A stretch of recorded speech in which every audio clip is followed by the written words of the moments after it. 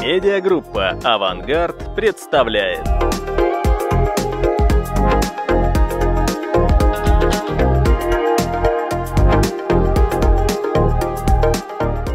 Меня зовут Лев, э, фамилия моя Полей. Я начальник службы информационной безопасности системного оператора единой энергетической системы.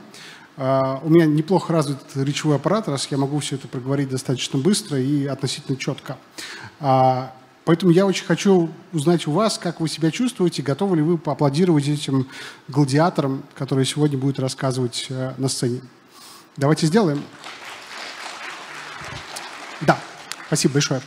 А, мне выпала честь вести э, секцию, которая называется «Промышленный сок». А, почему для меня это интересно? Ну, потому что я в том числе являюсь там, тем человеком, который в этом разбирается в какой-то степени, да, и э, данные процессы организовывал с нуля, начиная с 2016 года. Довольно увлекательное мероприятие. Я очень рад, что организаторы этой конференции на, на, как раз-таки начали выделять а, промышленные соки в отдельную а, какую-то сущность, потому что до этого всем казалось, что сок – это просто система организации, она не зависит от процессов компании, и если в финорганизации, собственно, существует э, сок, то так это... Ух ты, ничего себе, кто-то появился. Здрасте, а вас как зовут? Максим, очень приятно. А, хорошо. Так вот, э, как раз-таки именно этот момент меня больше всего интересует. Чем отличается наш промышленный сок от э, других схожих образований в других отраслях?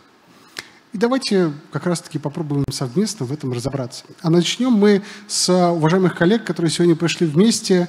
Это Антон Кокин и Алексей Разумов. Не все сценарии одинаково полезны. Начинается их доклад. Поаплодируем. Раз, два, три. А, добрый день, коллеги. Меня зовут Разумов Алексей. Я руковожу отделом аналитики инцидентов внутри СОК компании Ростелеком Solar. А, сегодняшнее выступление я проведу вместе с Антоном Кокиным, представителем компании ТМК, которая на протяжении уже нескольких лет является потребителем нашего сервиса по а, мониторингу и выявлению кибератак. Я расскажу про сценарий выявления инцидентов ИБ, подходы классификации, варианты настройки управления сценариями – а также поделюсь нашей методикой э, выбора и запуска сценариев на инфраструктуре. Антон со своей стороны э, поделится практикой применения такого подхода на инфраструктуре ТМК. Антон, предлагаю тебе начать. Да, спасибо, Алексей. Пару слов про ТМК. Нас, мы делаем трубы, мы лидер в этой области, по крайней мере, в России. И как Алексей озвучил, мы уже два года строим СОК совместно с э, компанией Ростелеком Solar на гибридной основе. Об этом я рассказывал в прошлом году на СОК-форуме.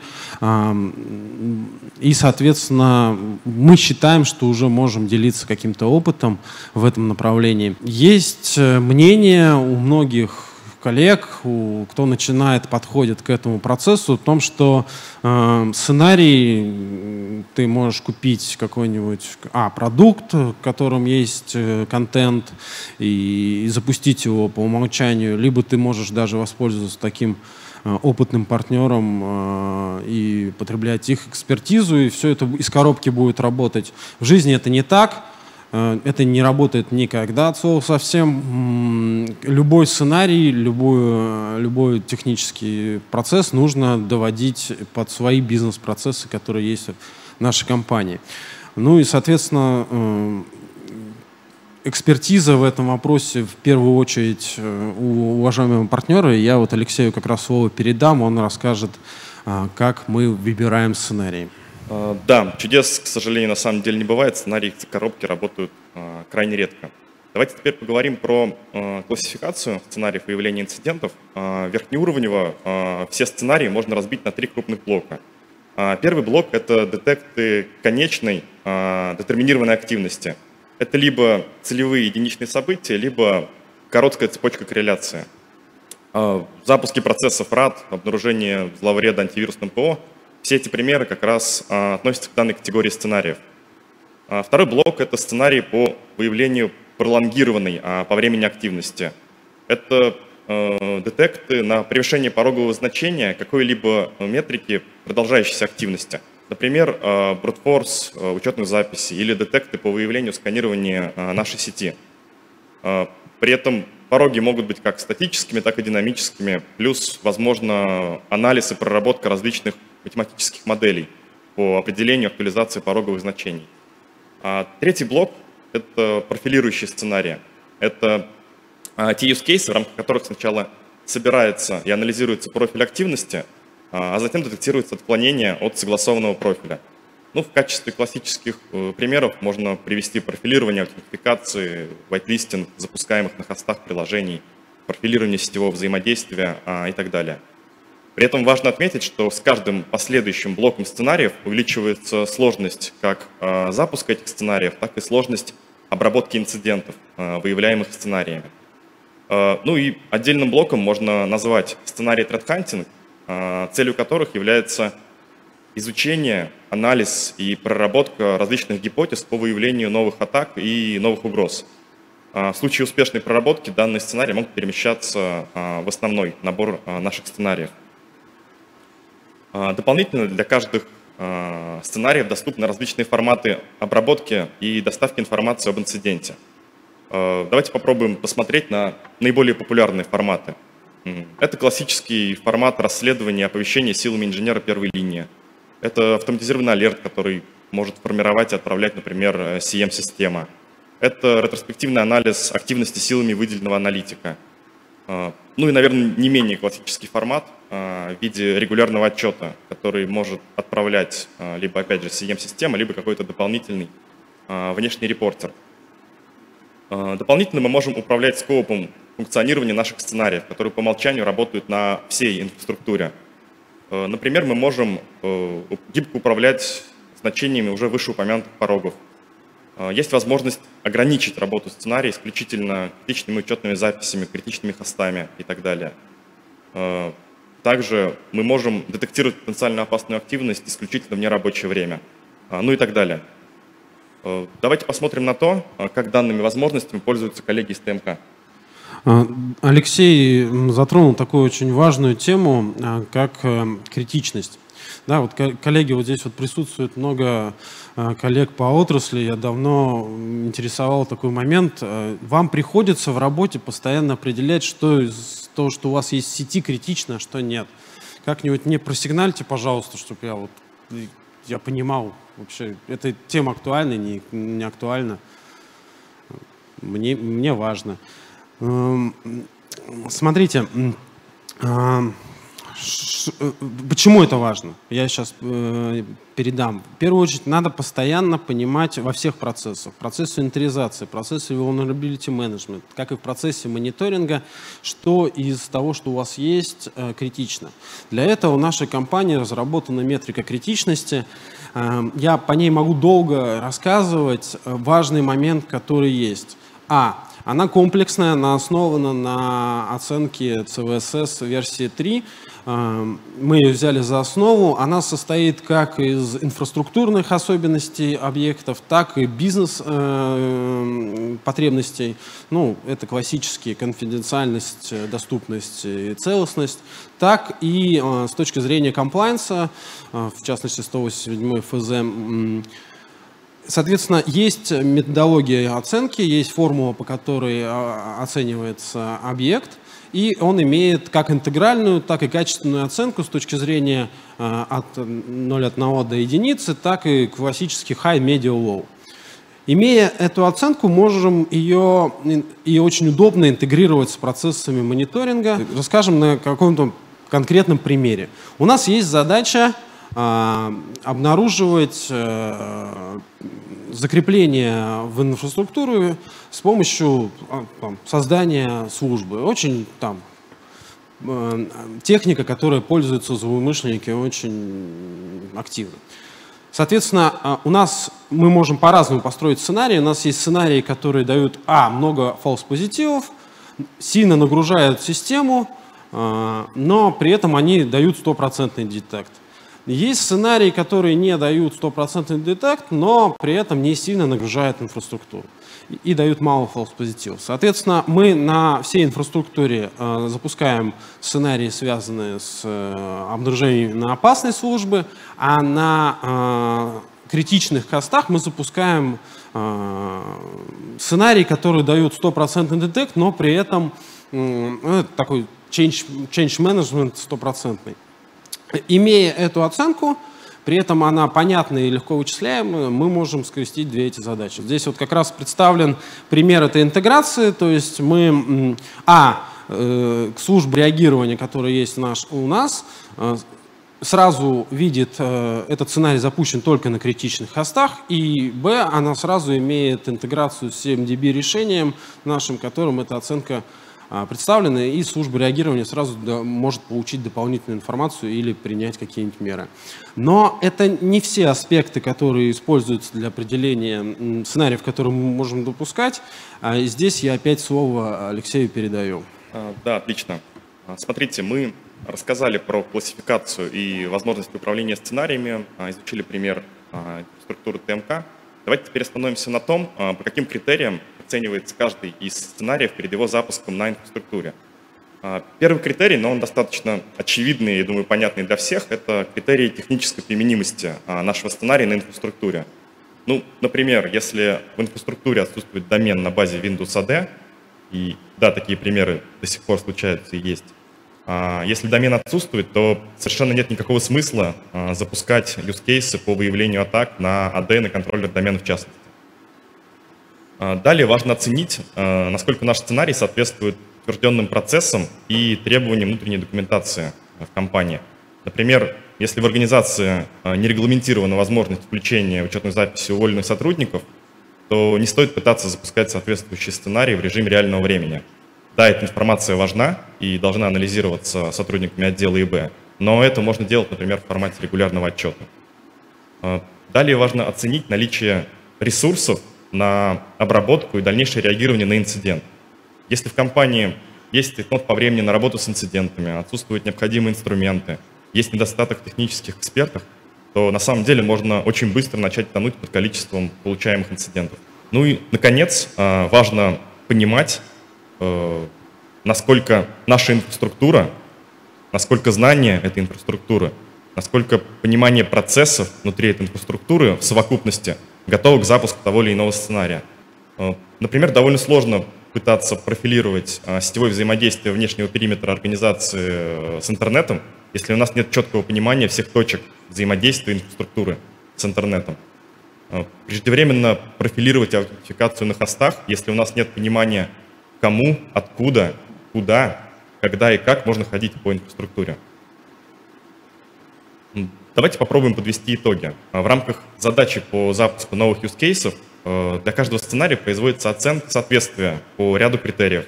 Выбираются параметры срабатывания сценариев, а также определяется наиболее подходящий формат э, доставки оповещения об инциденте. Ну и на выходе мы получаем так называемые правильно приготовленные детекты, наиболее релевантные для нашей инфраструктуры, ресурсы, процессов и степени готовности для работы с выявляемыми инцидентами. Антон, Предлагаю тебе дополнить. Ну, дополнить, вот чем я дополню, важный аспект, который э, здесь, наверное, не до конца мы озвучили, это то, что все это про то, что нужно коммуницировать. Нужно как минимум э, разговаривать с инфраструктурой, с бизнесом, с партнерами, если у вас на гибридной основе, с командой мониторинга. Э, коммуникация и взаимодействие крайне критично в этом вопросе. Все, спасибо, мы готовы ответить на вопросы. Спасибо. давайте попробуем задать вопрос, если есть такая. Так. Ну, кстати, мне на этот чудодейственный планшетик тоже ничего не пришло, поэтому ничего нового нету. А у меня есть к вам один вопрос, коллеги. То есть э, в анонсе самого доклада написано о том, что э, не все сценарии одинаково полезны. Это про вот способ фильтрации той самой, да, я так понимаю.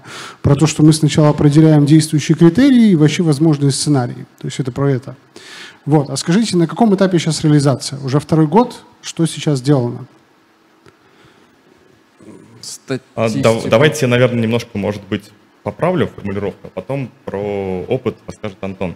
А, это не то чтобы способ фильтрации, хотя можно назвать и так. Это скорее а, ну, методика, можно так сказать, выбора правильного набора сценариев из общего скопа доступных сценариев и правильная их настройка и применение на инфраструктуре. Вот, то есть не хочешь, чтобы это Методика звучит э, симпатичнее, чем способ фильтрации, поэтому я понимаю, почему вы меня скорректировали.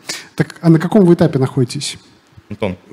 Ну, точное количество сценариев вряд ли интересно публике, и, честно, я его не помню. А, запущено там более, ну, точно больше 50-60 сценариев. Э, важный момент в том, что мы как раз э, нужно понимать, что первый год любого этого процесса именно в этом и заключается.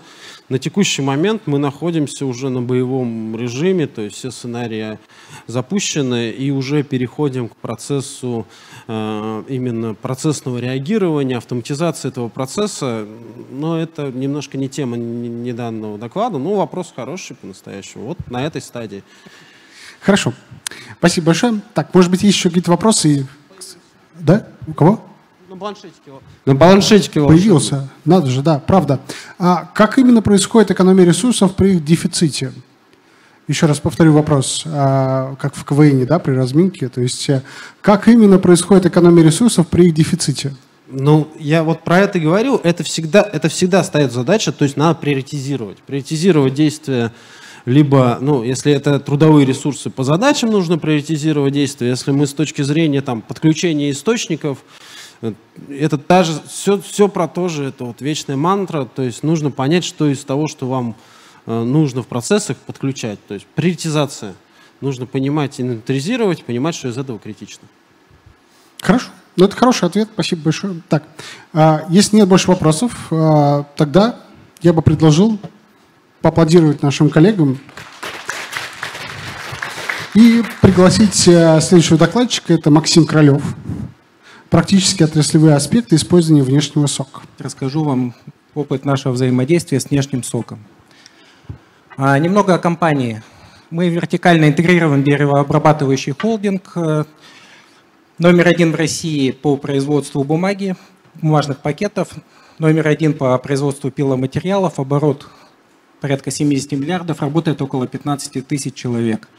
А, весной вышли на IPO, в общем-то, достаточно успешно, акции растут. В настоящий момент в моем инвестиционном портфеле это самая зеленая строчка. А, география производства от э, Восточной Сибири до Западной Европы.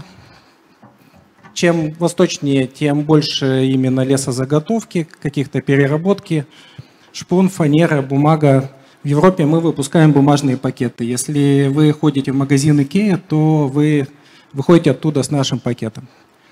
А, мы экологичная компания, в общем-то, этим гордимся. На этом маркетинг мы заканчиваем, переходим к существу вопроса.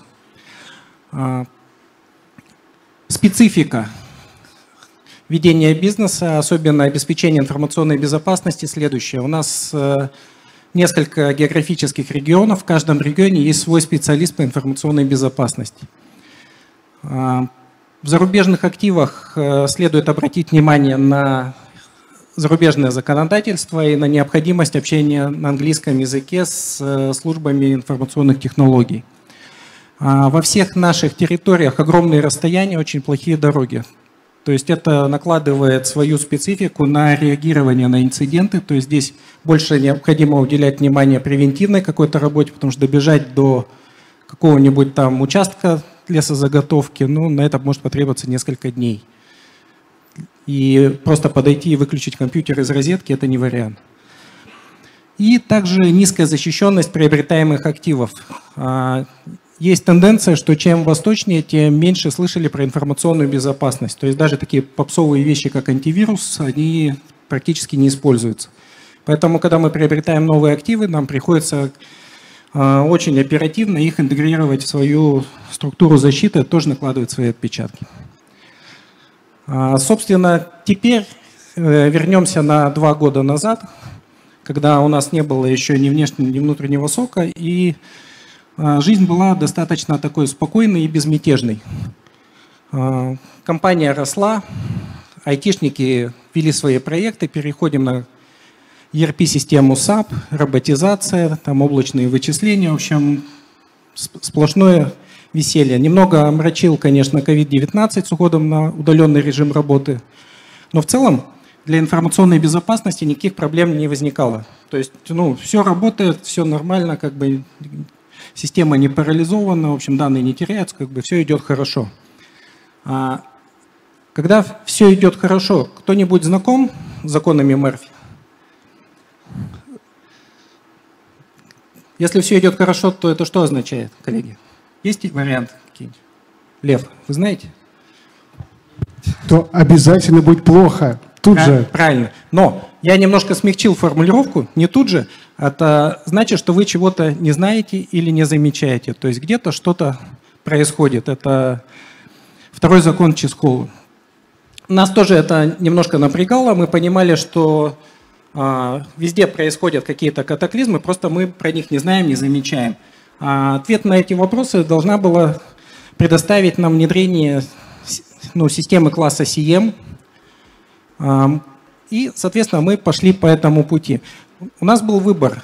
А, либо организовать свой CM, который влечет за собой покупку продукта, поиск удержания специалистов, создание круглосуточного диспетчерского центра – в общем, достаточно большие затраты. Либо а, в то же время уже в компании МТС был создан, функционировал коммерческий сок, и мы могли к нему подключиться. В общем, как в случае с Neo, мы выбрали красную таблетку. В общем-то, других альтернатив, наверное, не было на тот момент.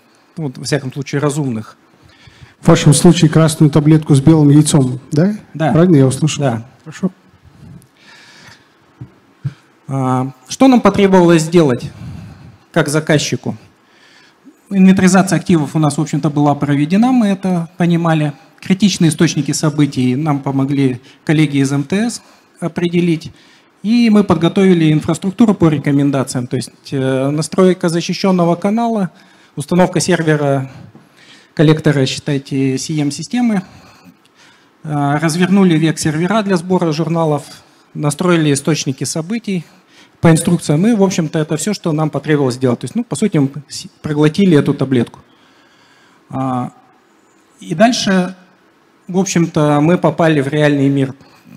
Мы, я не знаю, вот с чем это сравнить, это как вот проснуться на поле боя. То есть э, мы сразу увидели такое количество информации, такое количество инцидентов, которые происходят, причем они достаточно серьезные, что ну, как бы вся вот эта идиллия, которую я раньше рисовал, она ушла в небытие, мы про нее сразу забыли и начали заниматься тем, чтобы эту ситуацию каким-то образом исправить.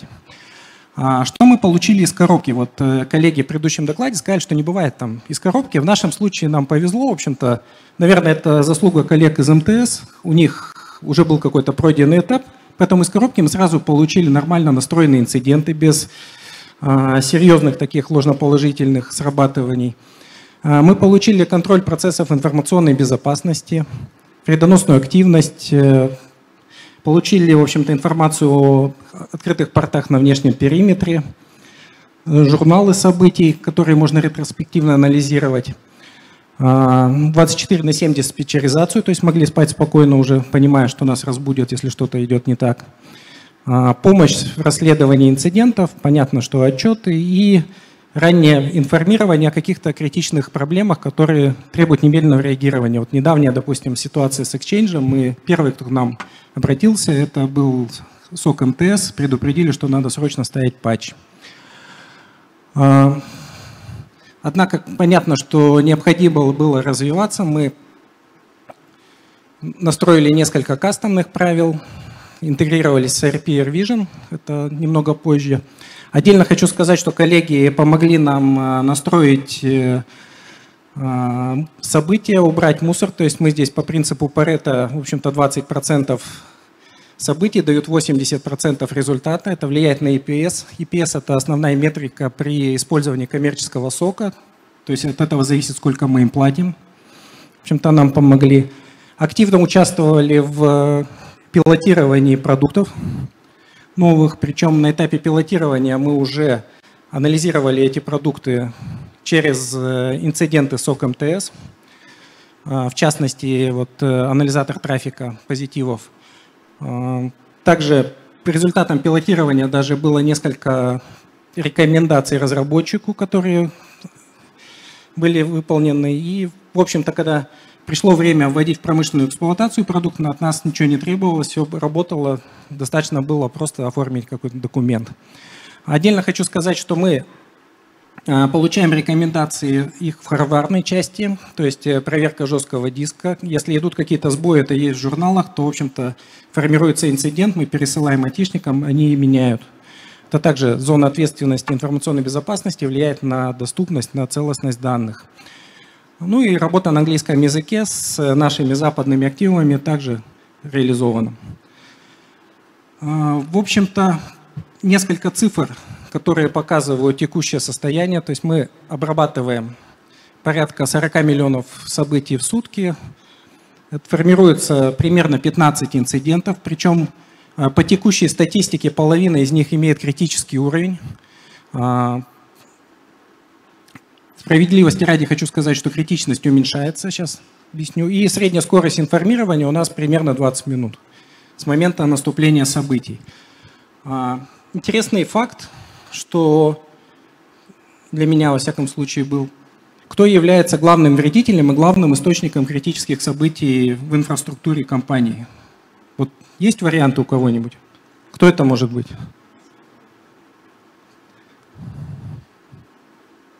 Лев, наверное, опять вам придется отвечать, не знаю, то есть тут... Просто только у меня есть микрофон, да, еще раз повторите вопрос, пожалуйста. А кто является наиболее злостными нарушителями а, информационной безопасности и генератором крити- инцидентов критичных? Мне кажется, информационная безопасность. Нет. А, но рядом. Это внутренний нарушитель, правильно коллеги вот из ТМК подсказывают. Это а, привилегированные пользователи, это системные администраторы. То есть э, после подключения а, СОК МТС я, в общем-то, узнал 400 способов, как можно в информационной нашей инфраструктуре Э, проводить какие-то действия. Там, в общем-то, массовая раздача каких-то слабых паролей, сканирование сети, там, наделение привилегиями, установка галок, там пароль никогда не, не выключать и прочие вещи. То есть это все происходило сплошь и рядом. Причем я заметил, что чем севернее территория, тем злобнее администраторы. То есть где-то полгода пришлось... Ну, это связано с тем, что там, в общем-то, поселок э, человек 100, и там один администратор, он, в общем-то, один такой, он неуязвим, и он сам знает, как, что нужно делать. Поэтому пришлось где-то полгода потратить на их воспитание, но, слава богу, сейчас все в порядке. Дальше стал у нас вопрос, что делать с теми инцидентами, которые поступают э, от СОК. Они поступали к нам по почте, мы их, э, в общем-то, обрабатывали вручную, распределяли по территориям. Там, в свою очередь, э, работа шла с IT, и как-то это надо было гармонизировать, эту всю работу. Здесь нам на помощь пришел продукт компании AirVision. Тоже большое спасибо коллегам. Также с энтузиазмом нам помогали, и, в общем-то, с горящими глазами, как и МТС, все решили. Соответственно, мы настроили там э, автоматическую обработку инцидентов, определение регионов, назначение ответственных, там уведомления, обогащение всевозможными данными. И также начали работать э, над своей приоритизацией, потому что сейчас мы получаем отсок приоритет инцидента, но он никак не связан с критичностью наших э, ресурсов, поэтому, в общем-то, с нашей рисковой моделью мы настроили некие дополнительные параметры, и сейчас у нас есть два приоритета, которые приходят из сока, которые нам формируются по нашим данным. А, соответственно, по результатам работы в разы сократилось время реагирования, запущены различные коннекторы, которые нам помогают, а, блокируется учетная запись, в общем-то, в автоматическом режиме, если необходимо, запускается антивирус, полная проверка хоста, если на нем обнаружен какой-то вирус. А также хэш файла VirusTotal проверяется автоматически. Ну, визуализация понятна. Вот такая архитектура получилась, э, в общем-то, достаточно сложная, потому что у нас еще сервисный контракт по а, поддержке межсетевых экранов, то есть здесь реагирование на инциденты, оно происходит в двухступенчатом или в трехступенчатом режиме. Ну и на помощь, конечно, нам пришел регламент э, «Бумажная поддержка», регламент реагирования на инциденты информационной безопасности. Для того, чтобы айтишники, в общем-то, понимали, что и как им нужно делать. А, несколько кейсов интересных. В ноябре 2020 года мы остановили у себя заражение монокрай, исходящий с домашнего компьютера сотрудника. В общем-то, это был, конечно, администратор, работающий на домашнем компьютере без антивируса, пытавшийся что-то там настроить. Вот. Э, в, э, в этом году в начале уже был у нас свет с далеких планет. С города Лесосибирск мы получили массовую вирусную атаку. Электрики цеха, в общем-то, слаботочники врезались в UTP кабель и организовали себе Wi-Fi точку. Самостоятельно ходили через нее в интернет. В общем-то, пока не притащили ноутбук зараженный. Тут мы их поймали. Ну и понятно, что в рамках проведения пентестов и киберучений мы видим практически все действия атакующего и, в общем-то, понимаем, как можно было бы на них среагировать. Я говорю практически все, потому что, в общем-то, правила настроены так, что некоторые действия, которые, допустим, атакующий считает э, критичными, мы такими не считаем. Вот. Ну и наши планы это подключение англоговорящих администраторов к системе AirVision, подключение к SOC, э, системы обеспечения информационной безопасности СУТП для того, чтобы 187 закон реализовать, подключение приобретаемых активов, дополнительных источников, там есть куда нам двигаться, это и Linux, и ERP-системы, разработка новых правил корреляции и доработка плейбуков в настоящий момент идет. Вот у нас 7, в общем-то, сценариев, не так много, мы их э, сейчас э, модернизируем. На этом я хочу свой доклад закончить. Спасибо за внимание. Если есть вопросы, с удовольствием отвечу. Спасибо большое, Максим. Ну, на самом деле, не так много пока вот, э, оттранслировалось вопросов, но тот вопрос, который появился, он очень знаковый и, наверное, каким-то образом отражает, насколько мы с вами вместе на одной волне. Звучит он следующим образом. Вопрос в целом к сессии. Отдельный сок АСУК ТП, запятая, практика и дальше дефис. Сможете ответить? Я, я постараюсь ответить, я над этим вопросом... Ничего себе, какой, ну что? Хорошо, давайте, давайте, да. А, это вопрос не, не тривиальный на самом деле, потому что для реагирования на инциденты, согласно 187 ФЗ, необходимо, чтобы был э, собственный, наверное, сок, ну как не собственный, а эти инциденты должны а, каким-то образом, в общем, аккумулироваться и дальше транслироваться там госсопку. И что для этого использовать? Это либо собственный сок, либо а, внешний сок, э, либо это может быть э, какой-то должен быть православный продукт, мы не знаем. То есть э, наше законодательство, оно меняется, и если сегодня, допустим, для некоторых категорий можно использовать иностранные продукты, то через некоторое время этого нельзя будет делать. Поэтому это как бы здесь больше вопросов, чем ответов. И троеточие в этом вопросе, оно многозначительно. Спасибо большое. Но у меня на самом деле тоже вот появилось несколько вопросов. Отдельное спасибо вам за градацию, собственно, злостности э, системных администраторов на севере, в зависимости от их удаленности от центра. А, спасибо большое за город Лесогорск. Вы расширили мои границы географического понимания нашей Родины. Э, спасибо большое за это. Это прям шикарно было. И вот очень интересный момент прозвучал про логистику, про то, что не во всех местах есть возможность, э, да, в общем-то, доехать и что-то сделать. А, а как вы решаете этот вопрос?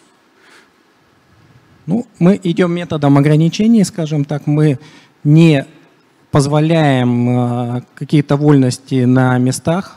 То есть мы полностью блокируем нелегитимную деятельность, то есть белый список приложений, и, в общем-то, там, где идет, работает лесозаготовительный комплекс, там ну, очень мало что может сделать человек. И плюс у нас есть летучие бригады, они есть в IT, они могут туда доехать ну, в течение, наверное, нескольких часов. Э, ну и такой, я не знаю, вы можете на него не отвечать. А вот тот коллега, который в 2020 году, значит, стал источником вонокрая, а, а, что с ним в итоге произошло? Он работает до сих пор, все хорошо? Да, он работает до сих пор. То есть, Пошел, э, может, переквалификацию как-то? Ну, вы знаете, за одного битого двух небитых дают, поэтому, в общем-то, с ним была проведена профилактическая работа, и сейчас он не, не нарушает. Ответ понятен. Так, появились ли еще какие-то, может, вопросы? Здравствуйте, меня зовут Евгения, я из города Архангельска. Я, э, у меня компания занимается именно э, э, оказанием услуг по безопасности. Но у меня такой вопрос, часто сталкиваются у меня клиенты, как объяснить привилегированным пользователям, в данном случае вы рассказывали про администраторов, как объяснить руководителям, что нужно урезать им права? И с чем вы столкнулись вот в связи с тем, что приходится обрезать права? И второй вопрос сразу задам. А, не отмечали ли вы, как э, влияет обучение пользователей, если вы проводите обучение пользователей, на снижение количества инцидентов? Спасибо. А, отвечая на первый вопрос, мы не обрезаем права администраторов, мы а, показываем, что не, какие инструменты им нельзя использовать для своей работы. То есть они просто для того, чтобы выполнять свою работу, иногда идут э, кратчайшим путем и в общем-то, массово раздают там права.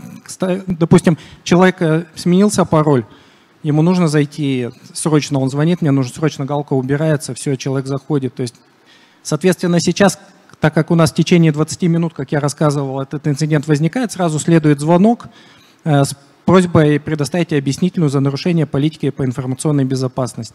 Это робот звонит, да, уже сразу? Ну, пока еще нет, но я думаю, коллеги из AirVision уже работают над этим. Вот. И, соответственно, человек, когда напишет пару раз объяснительную, он больше так не делает, он работает правильно. А касательно второго вопроса, это немножко не по теме доклада. Мы используем, в общем-то, систему автоматизированного обучения пользователя антифишинг. И ну, после того, как люди проходят тест или подрываются на учебные атаки, которые не должны, ну, не должны выполнять какие-то действия или открывать письма мы где-то процентов с 60 э, ушли процентов на 20 поражений. То есть это, я считаю, нормальный результат текущий. Может быть, у кого-то он получше, но в целом э, пользователи, они всегда будут все нажимать и игнорировать, ну, как бы надо это как факт воспринимать и ну, защищать его другим способом. Добрый день, Андрей Нойкин, Евраз. А скажите, вот э, с объяснительными э, не возникает конфликта, потому что у администратора свой KPI, у вас свой. А, соответственно, вы ему не даете там быстро снять галочку и что-то сделать, да? Соответственно, возникает какой-то простой или еще что-то. Конфликтов не возникает?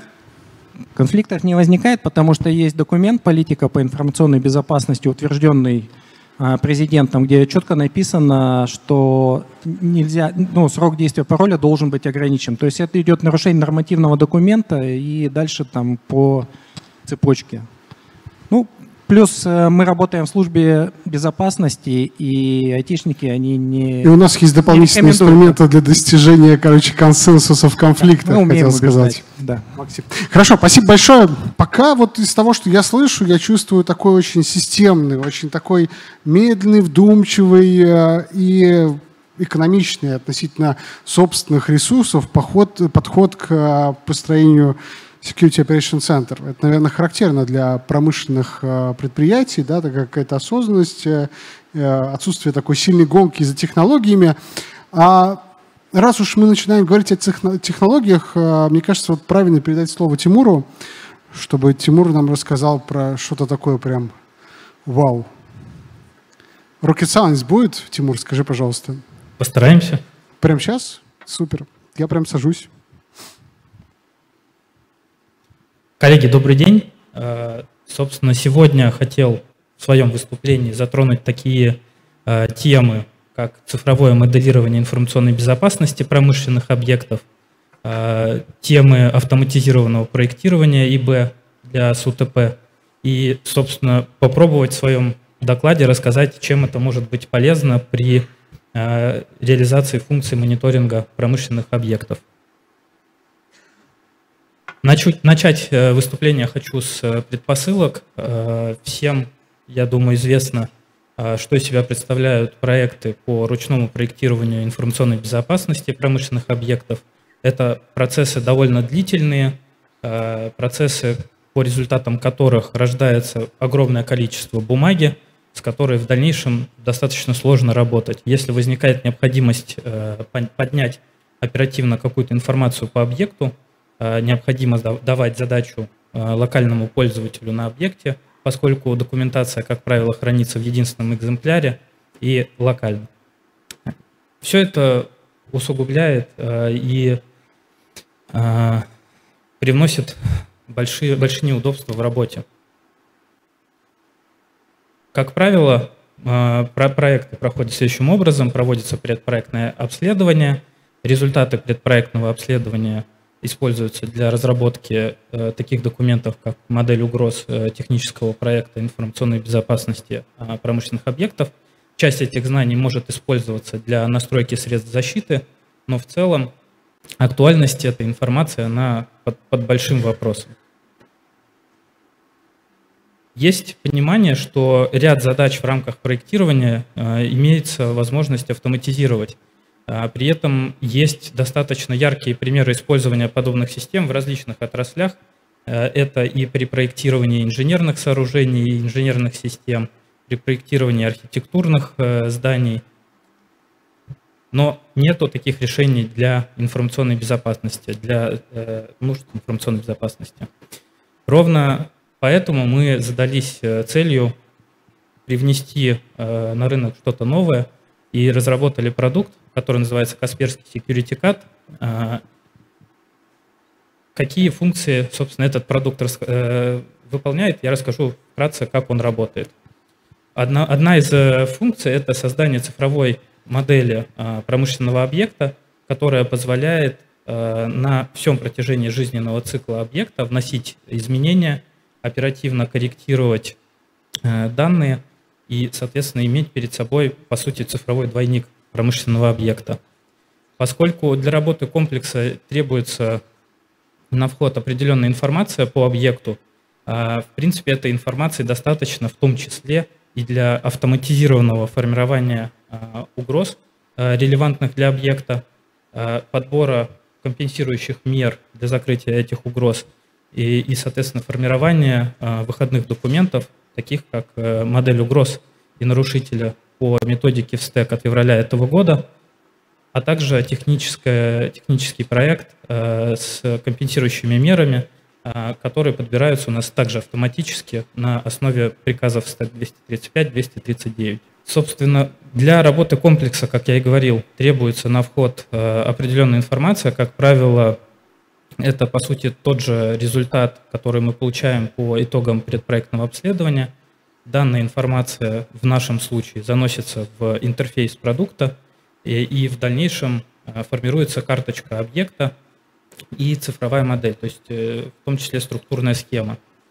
Э, далее на основе этой информации осуществляется анализ применимых релевантных угроз, исходя из информации об оборудовании, который используется на объекте, исходя из прав доступа э, внутренних пользователей, которые работают с объектом. А при этом нас интересует доступ как физический к различным помещениям, шкафам, так и доступ к информационным системам. Все это позволяет э, сформировать модель угроз и в графическом виде предоставить пользователю информацию об актуальных векторах, векторах атак, применимых к конкретному объекту АСУТП.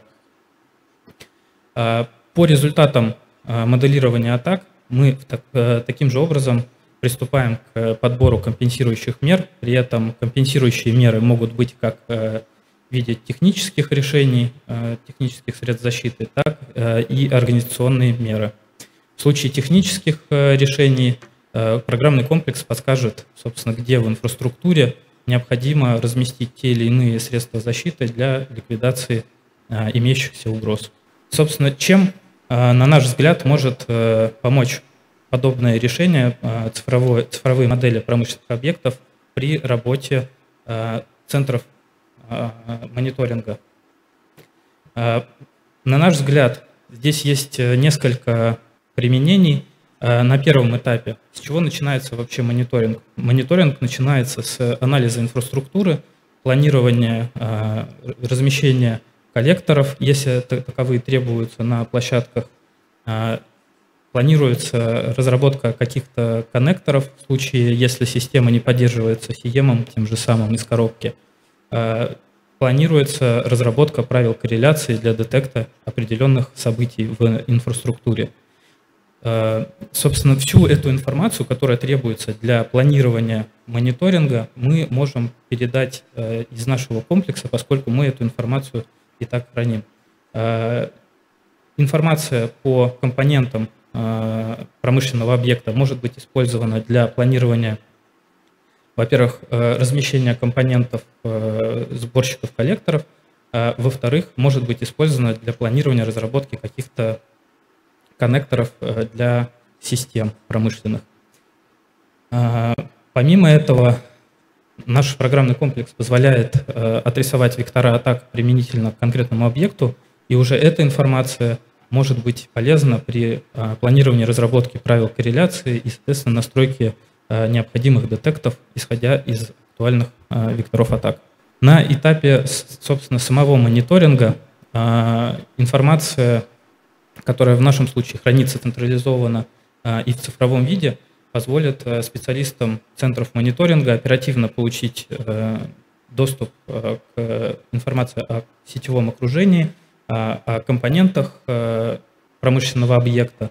И все это позволит специалистам центров мониторинга оперативно принять решение о том, какие меры необходимо применить для локализации инцидента. Собственно, как я и говорил, оперативный доступ к информации о том, что на объекте присутствует, какие средства защиты используются, поможет специалистам Центра мониторинга оперативно принять решение о э, какие меры необходимо э, предпринять для локализации инцидента в инфраструктуре.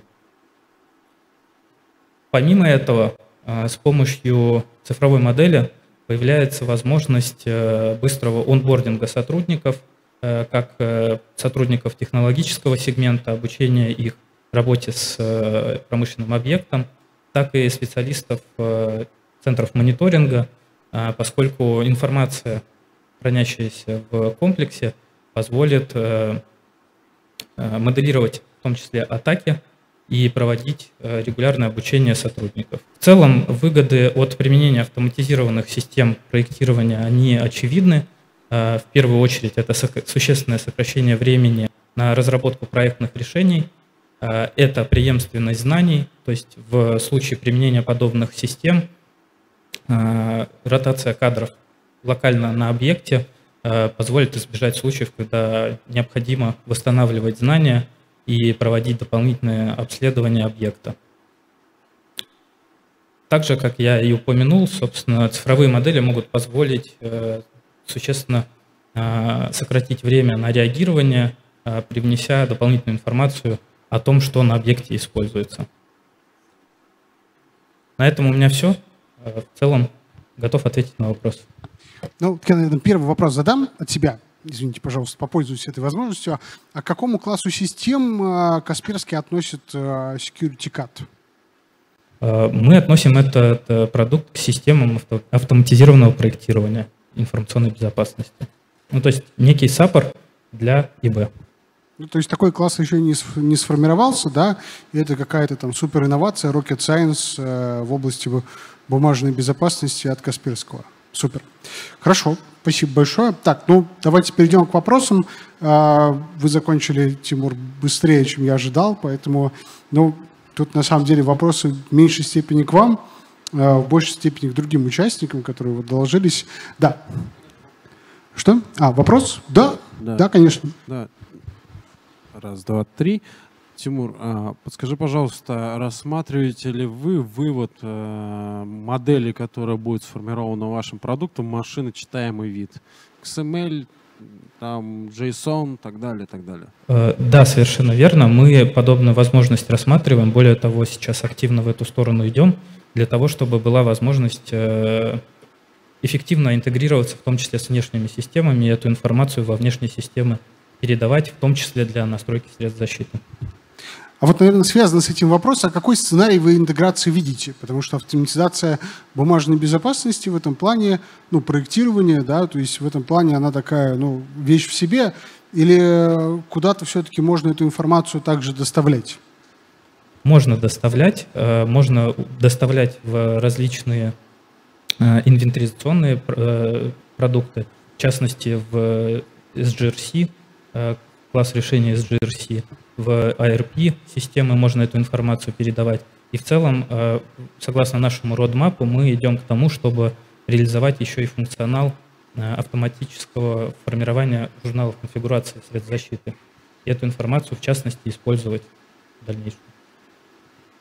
автоматического формирования журналов, конфигурации какого-то устройства. Конфигурационных, да, да, Да, то есть э, эталонного, то есть как Да. должно быть. да, Мгм. совершенно верно. Хорошо. И не работающего при этом. Ну, то есть эталонного Ра- и- работающего. и работающего. Хорошо. Давайте тогда поаплодируем Тимуру. Спасибо. Почему нет? Мне, по крайней мере, продукт показался интересным. Спасибо большое. Вот, мы идем с опережением графика, поэтому э, дальше я предлагаю устроить какую-то анархическую дискуссию, если у нас действительно высвободится много времени. А пока приглашаю э, в роли докладчика человека, который задавал один из вопросов. Это Андрей Нукин. Добрый день, коллеги. Собственно, зовут меня Андрей Нукин, я из компании Евраз. Э, Расскажу про то, как мы планировали, ну и вообще зачем нужен ERP-SOAR, в частности, в таких компаниях, как наша. Э, Ну, маркетинг, в принципе, все и так знают, наверное. Небольшая компания, 70 тысяч человек, в общем, много всякого барахла в разных частях света. А, собственно, ну, мы как компания, наверное, шли, как и большинство компаний, да, то есть э, на каком-то этапе у нас была просто система мониторинга, мы понимали, что-то работает, что-то не работает, ну, непонятно зачем, нужно идти разбираться. А потом, соответственно, появляются там а-ля CM или еще какие-то другие системы, которые уже собирают чуть больше информации, и мы начинаем понимать, а почему же там это не работает.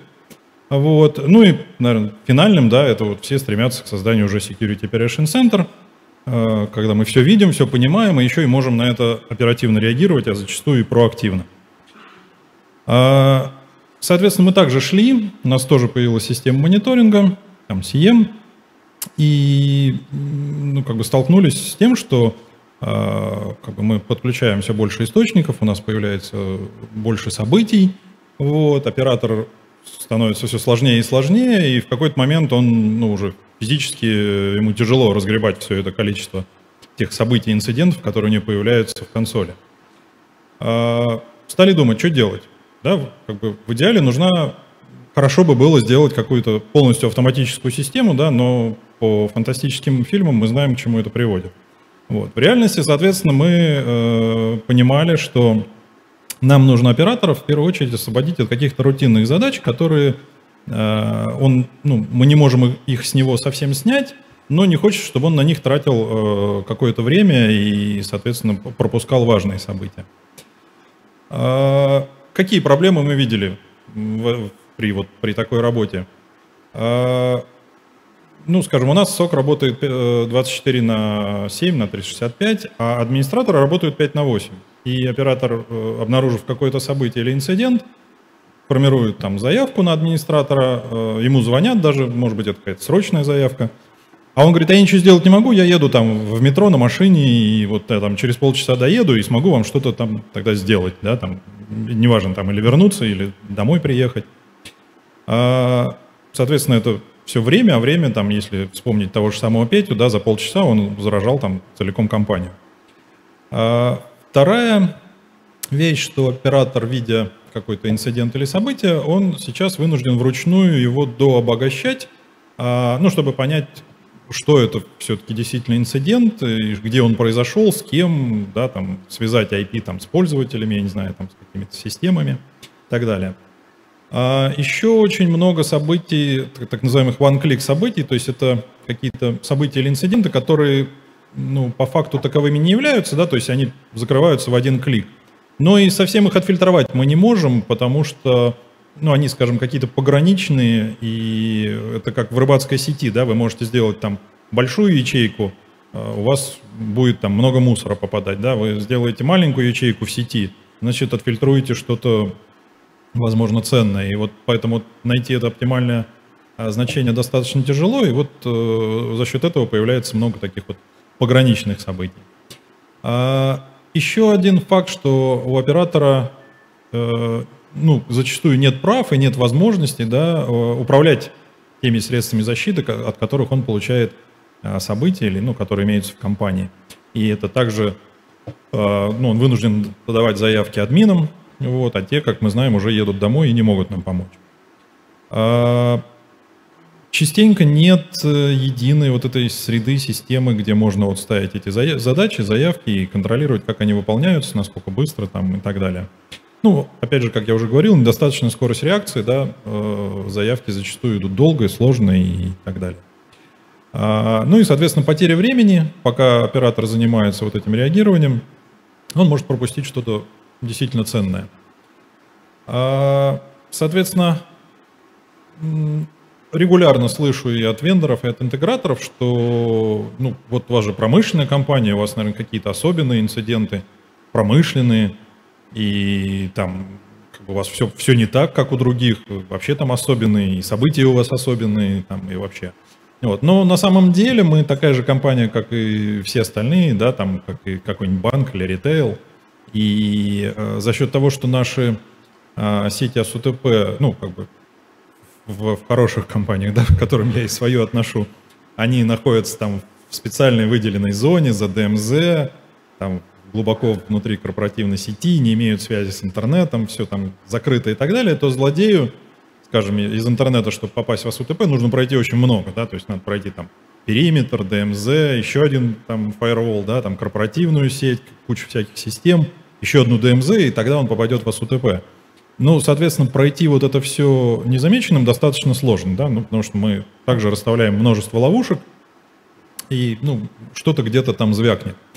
А основные события, которые вот мы сейчас фиксируем регулярно, да, это, как и у всех, фишинг, Э, вирусы, которые пытаются пролезть, ну и э, всяческие э, там от школьников до, может быть, каких-то группировок, которые постоянно сканируют внешний периметр в поисках там каких-то уязвимостей и там, не знаю, у нас есть специальный терминальный сервер, который регулярно брутфорсят. В общем, мы уже поняли, что на всех языках пробовали слово администратор, там бухгалтер и так далее. То есть от, от китайского до, не знаю, там, всякого испанского, есть только каких-то африканских языков не было. Соответственно, у нас есть особенности, да, несмотря на то, что я говорю, что мы вроде бы так же, как и все, а есть определенные особенности, связанные с чем, что а, зачастую промышленные предприятия – это старинные предприятия, которые строились достаточно давно, и э, очень часто используются какие-то проприетарные протоколы, проприетарные системы, которые ну вот они такие специфические, скажем, да, там, не используют там, IP стек или еще что-то. А, соответственно, из этого же вытекает, что вот, как я уже сказал, что эти системы старые, но они нам критически важны, и мы не можем от них отказаться. То есть, скажем, ну, я бы с удовольствием там половину систем а, обновил на какие-то более современные, а, интересные, но, к сожалению, это не всегда возможно. Вот. И эти системы, а зачастую строились давно, когда требований информационной безопасности еще не было. Когда мы, например, делили э, корпоративную технологическую сеть, и интегратор пришел и сказал, вот нам вот здесь надо в технологии поменять IP-адресацию, а с УТПшники э, выпучили глаза, говорят, вы даже туда смотреть не смеете и дышать в ту сторону не могите, потому что как бы система работает, и ничего ее трогать нельзя, уже никого нет, разработчики уже там половину умерли, половину уехали, Э, поддержка вот у нас еще какая-то есть, но не дай бог вы что-то сломаете, там мы замучимся восстанавливать. Э, опять же, э, у нас компания достаточно крупная, как вы видели, да, на карте, и это тоже накладывает определенные особенности, как получать данные, и в том числе вот с каких-то нестандартных вещей. Ну и самое главное, как в любом промышленном предприятии, у нас основной приоритет – это непрерывность производства, в первую очередь, да, а потом уже доступность и безопасность. А, соответственно, отсюда вытекает и специфика реагирования. Как я уже говорил, компания большая, и зачастую там, из центра мониторинга команда до конечного исполнителя может идти достаточно долго. А, соответственно, мы не любим облачные сервисы. Мы стараемся все приземлить к себе. А, ну, во-первых, там и свою роль играет, да, да и в принципе риски облачных э, систем, да, потому что а, как бы нельзя исключать, скажем, там, что наши, как президент говорит, партнеры с той стороны, да, там махнут шашкой и что-нибудь отрежут. Или все мы помним, как э, Роскомнадзор боролся с Телеграмом, когда отключили там и Амазон, и, и все остальное. Есть некая задержка в реагировании. Опять же, все связано с тем, что компания большая, несколько часовых поясов, э, плюс вот э, люди, не всегда они есть на месте. То есть когда, грубо говоря, в Москве обед, э, в Сибири заканчивается рабочий день. И, ну, соответственно, люди идут домой. А, специфика есть, связанная с моделями э, угроз и нарушителей. Да? Э, Все-таки достаточно крупные компании, и в первую очередь, естественно, интересны каким-то ну, крупным игрокам. Вот. Ну, нормативные требования, да, никуда от них не денешься. Э, опять же, оттуда вытекает регламентированное время реагирования. Мы должны достаточно быстро реагировать и сообщать. А, и э, еще один тоже немаловажный факт, то что мы не можем э, в АСУТП, например, да, автоматически применять какие-то э, меры там, реагирования, блокирования и так далее, потому что ну, здесь надо очень тонко понимать, что мы блокируем и к чему это может привести. Вот. А, но, тем не менее, есть множество как в любой, наверное, компании, в любом соке, есть множество таких рутинных типовых задач, которые все делают, и от них никуда не денешься, вот, связанные с обогащением, с какими-то вот действиями там, по блокировкам, запуск сканирования, ну, вот много уже коллеги тоже говорили, те же самые там ИОКи искать, оповещать и так далее, ну, в общем, много всего. А, собственно, когда мы вот это все осознали и поняли, э, возникает вопрос, что делать? Либо расширять штат, чтобы все эти вопросы закрыть, да, либо, соответственно, как-то вот роботизировать. И мы вот обратились в сторону RPSOR э, систем, э, соответственно, с целью попробовать это дело автоматизировать, насколько это возможно, и за счет этого не расширять штат, а, ну, при этом освободить наших операторов а, от каких-то вот таких базовых рутинных операции, чтобы они вот эти инциденты и события могли обрабатывать быстрее, ну и меньше тратить времени на какую-то там э, такую текучку. А, как же выбрать тогда, да, то же самое RPSOR? Их достаточно много на рынке, и зарубежных, и российских. А, ну, мы, соответственно, в первую очередь смотрели вот на такие, скажем так, признаки, а, которые нам были интересны.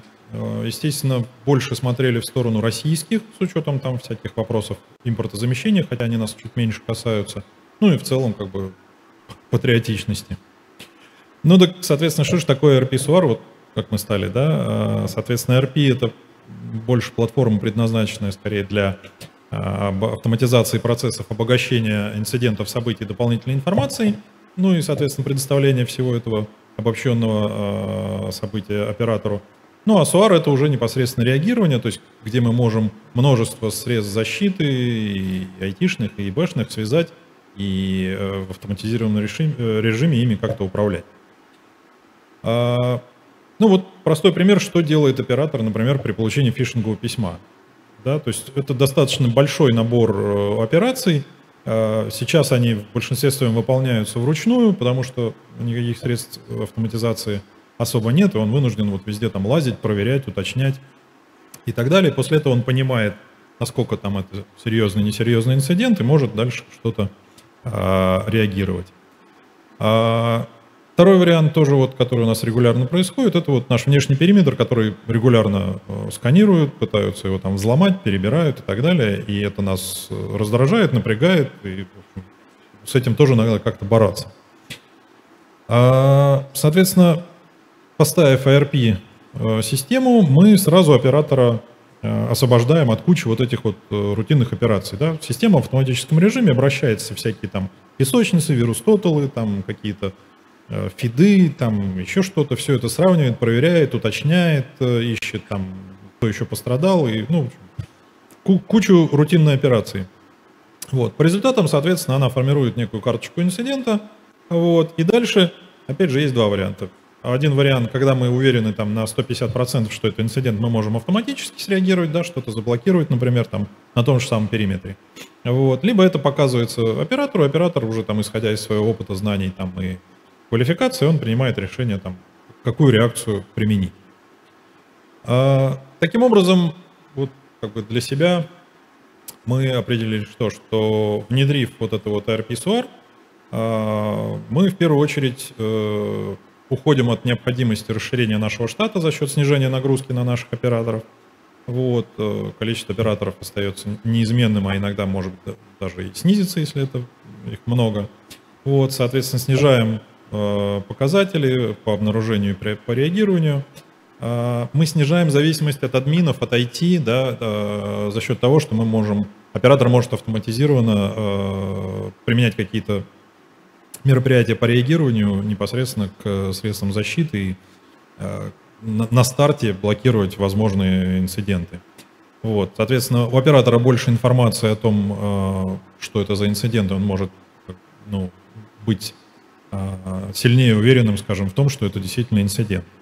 Э, также немаловажно мы фиксируем вот эти все сценарии реагирования, потому что зачастую, ну, не всегда есть четко прописанные плейбуки вот в процессе там создания, да, а здесь как бы он записывается. Мы сможем опять же за счет вот этого SUAR, э, связать кучу разнородных средств защиты и управлять ими из единого центра. Ну, на самом деле можно долго перечислять, да, то есть все, в общем-то, понимают, что вещь полезная, а, эффективная и ну, на определенном этапе развития э, как бы, центров мониторинга просто необходима наверное, все, что я хотел рассказать. А тут у нас набежало вопросов, а они к тебе немножко, да, то есть и к другим коллегам, которые из э, именно практиков а, со стороны компаний. А, ну, на самом деле прозвучало, на мой взгляд, да, то есть прозвучало, правда, не в числах, но вот здесь есть такое интересное уточнение. Сейчас я прям зачитаю. А, да, ну, ну и кину Андрею. Сколько FTE удалось сэкономить за счет автоматизации? И сколько человек требуется для ее сопровождения? А, ну, смотрите, сейчас э, у нас в нашем центре получается э, так, 6 человек. В следующем году мы планируем взять еще одного э, для обеспечения взаимозаменяемости и более спокойного, скажем, ну, чтобы люди могли в отпуск уйти, там, заболеть, потому что сейчас э, там где-то начальник прикрывает, где-то аналитик, и ну, не всегда это удобно.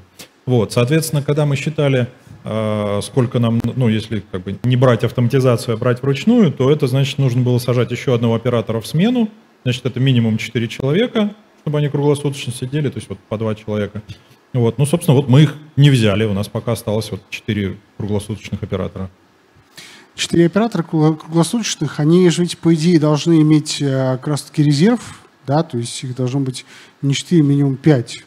Ну, у нас есть еще а, аналитик, который угу. вырос как бы из оператора, и в случае, если кто-то из операторов там, ну вот, я говорю, да. в отпуск заболел или еще что-то, значит, аналитик на, на время его отсутствия, он его подменяет. Сейчас вот появится еще один человек, который, ну, как бы, аналитик тоже освободит, чтобы он но, если ты не против, я бы, наверное, у других коллег также спросил, а вот in-house, а, а, какие силы задействованы под мониторинг? Понятно, что формы организации разные, здесь полностью in-house, собственно, SOC, да, то есть у, а, собственно, ТМК, насколько понимаю, это какая-то вот такая полусервисная модель там, гибридная, да, и, соответственно, у Снежа Group а, тоже такая комбинированная получается. А, спасибо, что убрали телефон, Максим. Я так рад, что вы это сделали. Так вот, а, давайте кратенько там перебросимся на эту тему. А, что у кого в этом плане есть? Сколько задействовано там человек для цели мониторинга в ТМК, сколько в СНЕГ же, и сравним эти показатели. Интересно же ведь? Бенчмаркинг такой. Интересно, но неправильно. Что неправильно? А, сравнивать так вот в лоб, потому что э, э, ну, разные структуры и разные организации. Здесь сильно от этого зависит, потому что, э, ну, я могу сказать, сколько в моей команде человек, это 16, у нас нет выделенного под именно направления а, именно вот, эти, вот ты занимаешься мониторингом, и ты им занимаешься. Нет такой задачи. У нас на нас э, в первую очередь реагирование, это эксплуатация средств защиты.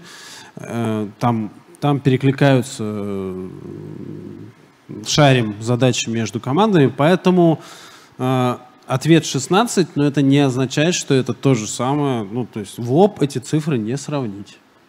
Ну, понимаю, да. То есть, но, э, может быть, есть какое-то ощущение, что там 20% э, трудочасов э, вот этих 16 человек уходит на организацию и сопровождение процесса мониторинга. И из этого уже можно посчитать какие-то вот FTE условные. Хорошая идея, займусь. Спасибо тебе большое за это. Да. Максим? Я тоже скажу. У нас действительно согласен, нельзя сравнивать несравнимые вещи, потому что у нас э, мониторинг внешний, и мы, у нас только команда реагирования, причем она распределенная. Если инцидент критичный, у нас три человека, это не их э, стопроцентная загрузка, то есть они просто всегда на связи и готовы в любой момент отреагировать в течение там, дня и ночи, и должны это сделать. А если говорить про распределенную систему, когда у нас идет эскалация инцидентов в регионы, то всего у нас э, в информационной безопасности 10 человек, то есть ну, 7 из них в регионах, и там, в общем-то, у них SLA реагирование в течение трех дней. Если 7 регионов, у нас э, в работе примерно около сотни инцидентов всегда находится, поделить на 7 это получается где-то сложный вопрос, ну, 15, наверное, да, и на три дня только примерно на одного человека ложится 5 инцидентов в день. Это ну, такая незначительная нагрузка, которая его не сильно отвлекает от выполнения основных обязанностей. Хорошо, спасибо большое.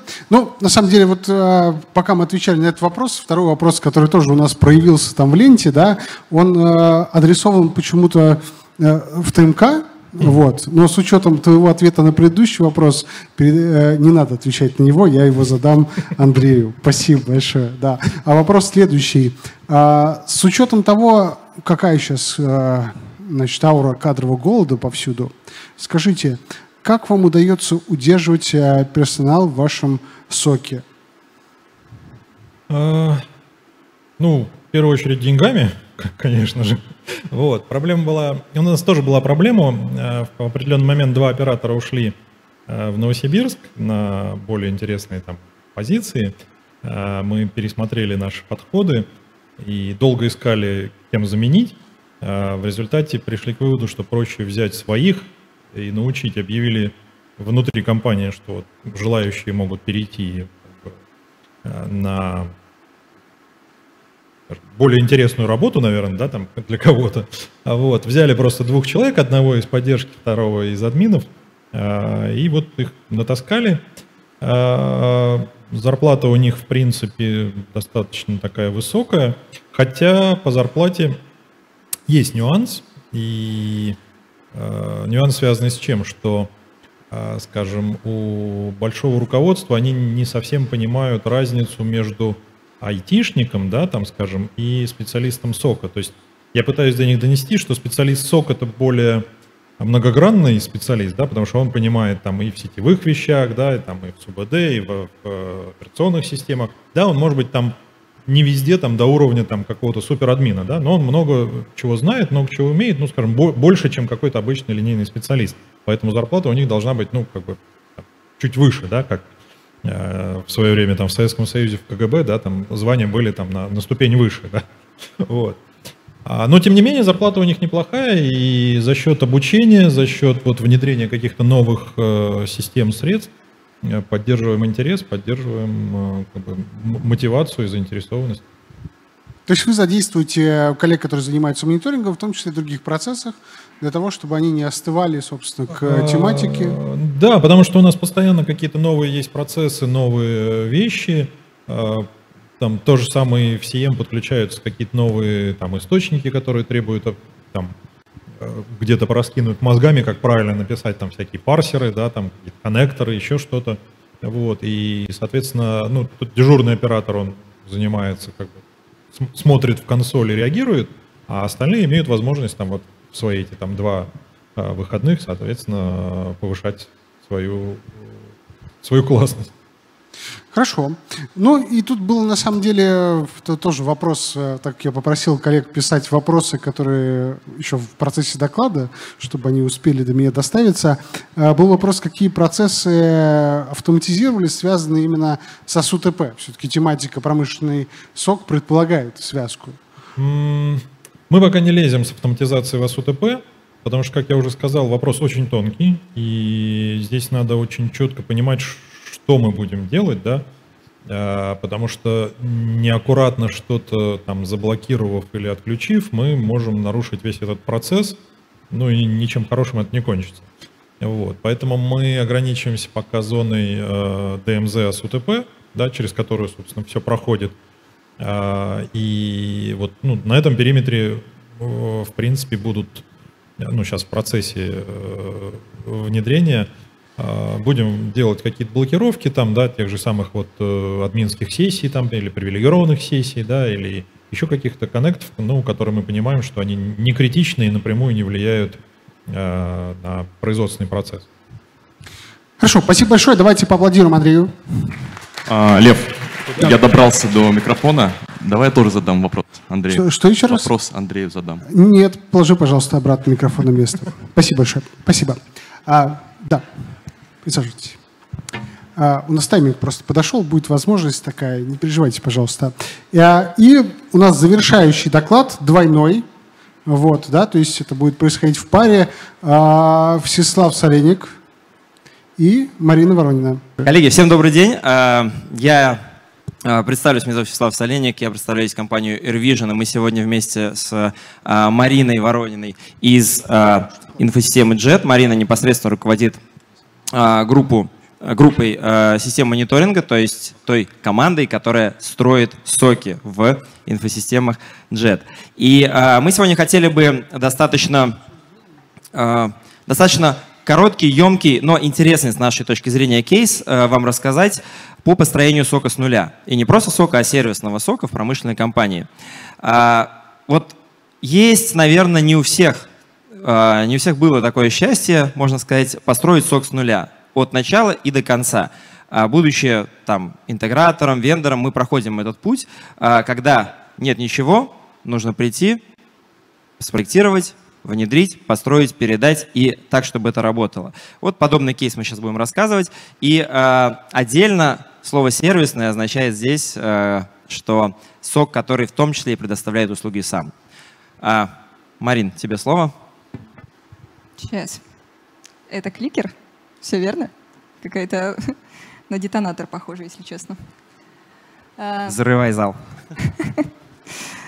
Так, Особенностью нашего проекта является а, то, что это, как уже сказал Всеслав, это был сервисный сок, то есть мы построили не просто коммерческий сок, который покрывал инфраструктуру заказчика, но мы также построили и сервисный сок, который эм, на коммерческой основе оказывает услуги своим дочерним компаниям. А, то есть э, мы получили коммерческий сок, и для того, чтобы оказывать на нем услуги, мы его еще и подключили к JetSertu. Ну, потому что на момент внедрения у заказчика не было нужного количества специалистов. А, таким образом, у нас получился коммерческий сок, который подключен к другому коммерческому соку а, в рамках оказания услуг. Краткие характеристики проекта. Мы подключили источников э, с потоком событий где-то более 10 тысяч EPS, но ближе к концу проекта было наверное, скорее ближе к 15 тысячам EPS, автоматизировали э, три процесса SOC и реализовали э, более 150 корреляционных правил, ну и, конечно же, в самом ARP обеспечили обработку 50 типов инцидентов.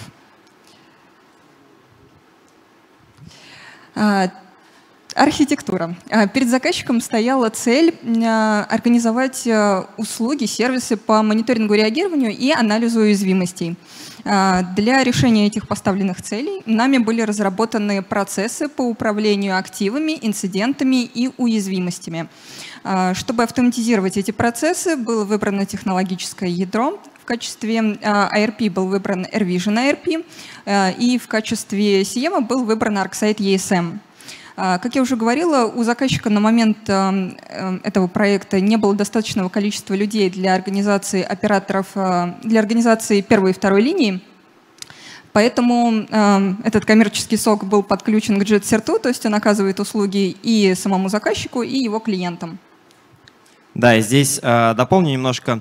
С точки зрения проекта, э, это достаточно стандартная история. Мы здесь видим люди, процесс, технологии, классическую триаду. Но э, мы хотели бы еще раз подчеркнуть, что когда мы делаем проект по построению сока, это не просто внедрить CM, внедрить э, SAR-систему, да, это прежде всего достаточно серьезный консалтинг о том, как построить сам сервис, как построить процесс один, второй, третий, инвентаризацию, управление инцидентами, а, управление уязвимостями. И здесь а, на проекте выступает как команда аналитиков и консультантов, которые непосредственно строят процесс, так и команда инженеров, которые уже технологический стек решают.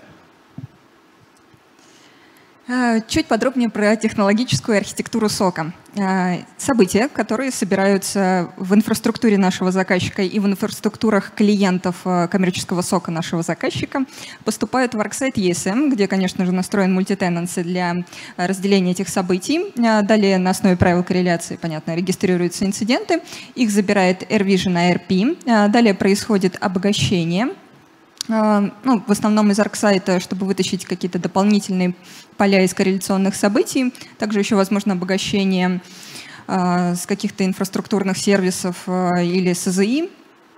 В дополнение к этому мы настроили интеграцию с сервис-деском, чтобы ставить администраторам или владельцам систем задачи по реагированию. И как я уже сказала, там был JetSirt, поэтому нужно было синтегрироваться с ними. У них тоже используется AirVision ARP. По сути, мы построили интеграцию между двумя AirVision. А, чтобы, это была двусторонняя интеграция, чтобы инциденты улетали от заказчика в JetSirt, а, там они что-то меняют, обрабатывают инциденты, и чтобы статусы были синхронизированы, поля карточек и так далее. Да, достаточно типовая, а, если не брать сверху а, MSP-провайдера, достаточно типовая схема, в которой есть а, три базовых, на самом деле, элемента, с которых начинается практически любой сок, если строить его с нуля.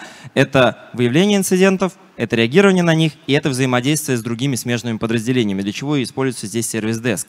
И э, в, наверное, большей части наших проектов это так и происходит. И что касается обогащения, здесь Марина подчеркнула, что Основным источником на данном проекте был ArcSight, а, в том плане, что внутри плейбука мы обращаемся к ArcSight, чтобы уже до получить для аналитика, который смотрит сейчас в интерфейсе ERP, до получить конкретный контекст из событий, хранящихся в ArcSight. Но, а, как правило, мы также собираем обогащение и непосредственно с серверов сармов, а, пользуясь инвентаризацией, и сетевого оборудования, и СЗИ, то есть все эти моменты, они присутствуют. Здесь, наверное, точка роста. Да? А, в данном проекте мы использовали сценарный подход, как, в общем-то, и во всех наших проектах, э, где мы разрабатываем правила. А, мы сначала определили актуальные угрозы, а, потому что мы хотели все-таки подойти осознанно к выбору правил корреляции, чтобы выбрать заказчику только полезный контент. Мы, э, по сути, построили модель угроз, определили эти актуальные угрозы и способы выявления их реализации, составили список сценариев, которые покрывают эти угрозы, разделили их на правила корреляции. А, дальше мы взяли матрицу Митры, а, выкинули оттуда те техники, которые не актуальны для IT-ландшафта заказчика, и те техники, которые не подходят для правил корреляции в части регистрации инцидентов, ну, потому что они дают много фолзов. То есть это техники ближе, наверное, к тред-хантингу. Ну, этот CIRT тоже использует, JetCIRT, а, в рамках оказания услуг этому заказчику. Но для правил корреляции нам это не подошло, а, и мы это выкинули. Оставили только актуальные для заказчика техники, выявили способы выявления их реализации, наложили эти оставшиеся техники и способы на нашу сценарную базу. А, получилось примерно, что у нас все совпало, конечно же, но мы добавили еще несколько правил корреляции, чтобы максимально возможно покрыть э, матрицу Митры, потому что у заказчика ну, было такое пожелание. Да, и здесь добавлю, что э, вчера у нас был э, доклад Григория Ревенко про как раз-таки матрицу Митры и атак, и defend, и engage. И здесь э, хороший пример того, что когда мы стартуем опять же с нуля, нам необходимо с чего-то начинать, с каких-то э, базовых скажем так, лучших практик, либо наработок со стороны э, интегратора, консультантов.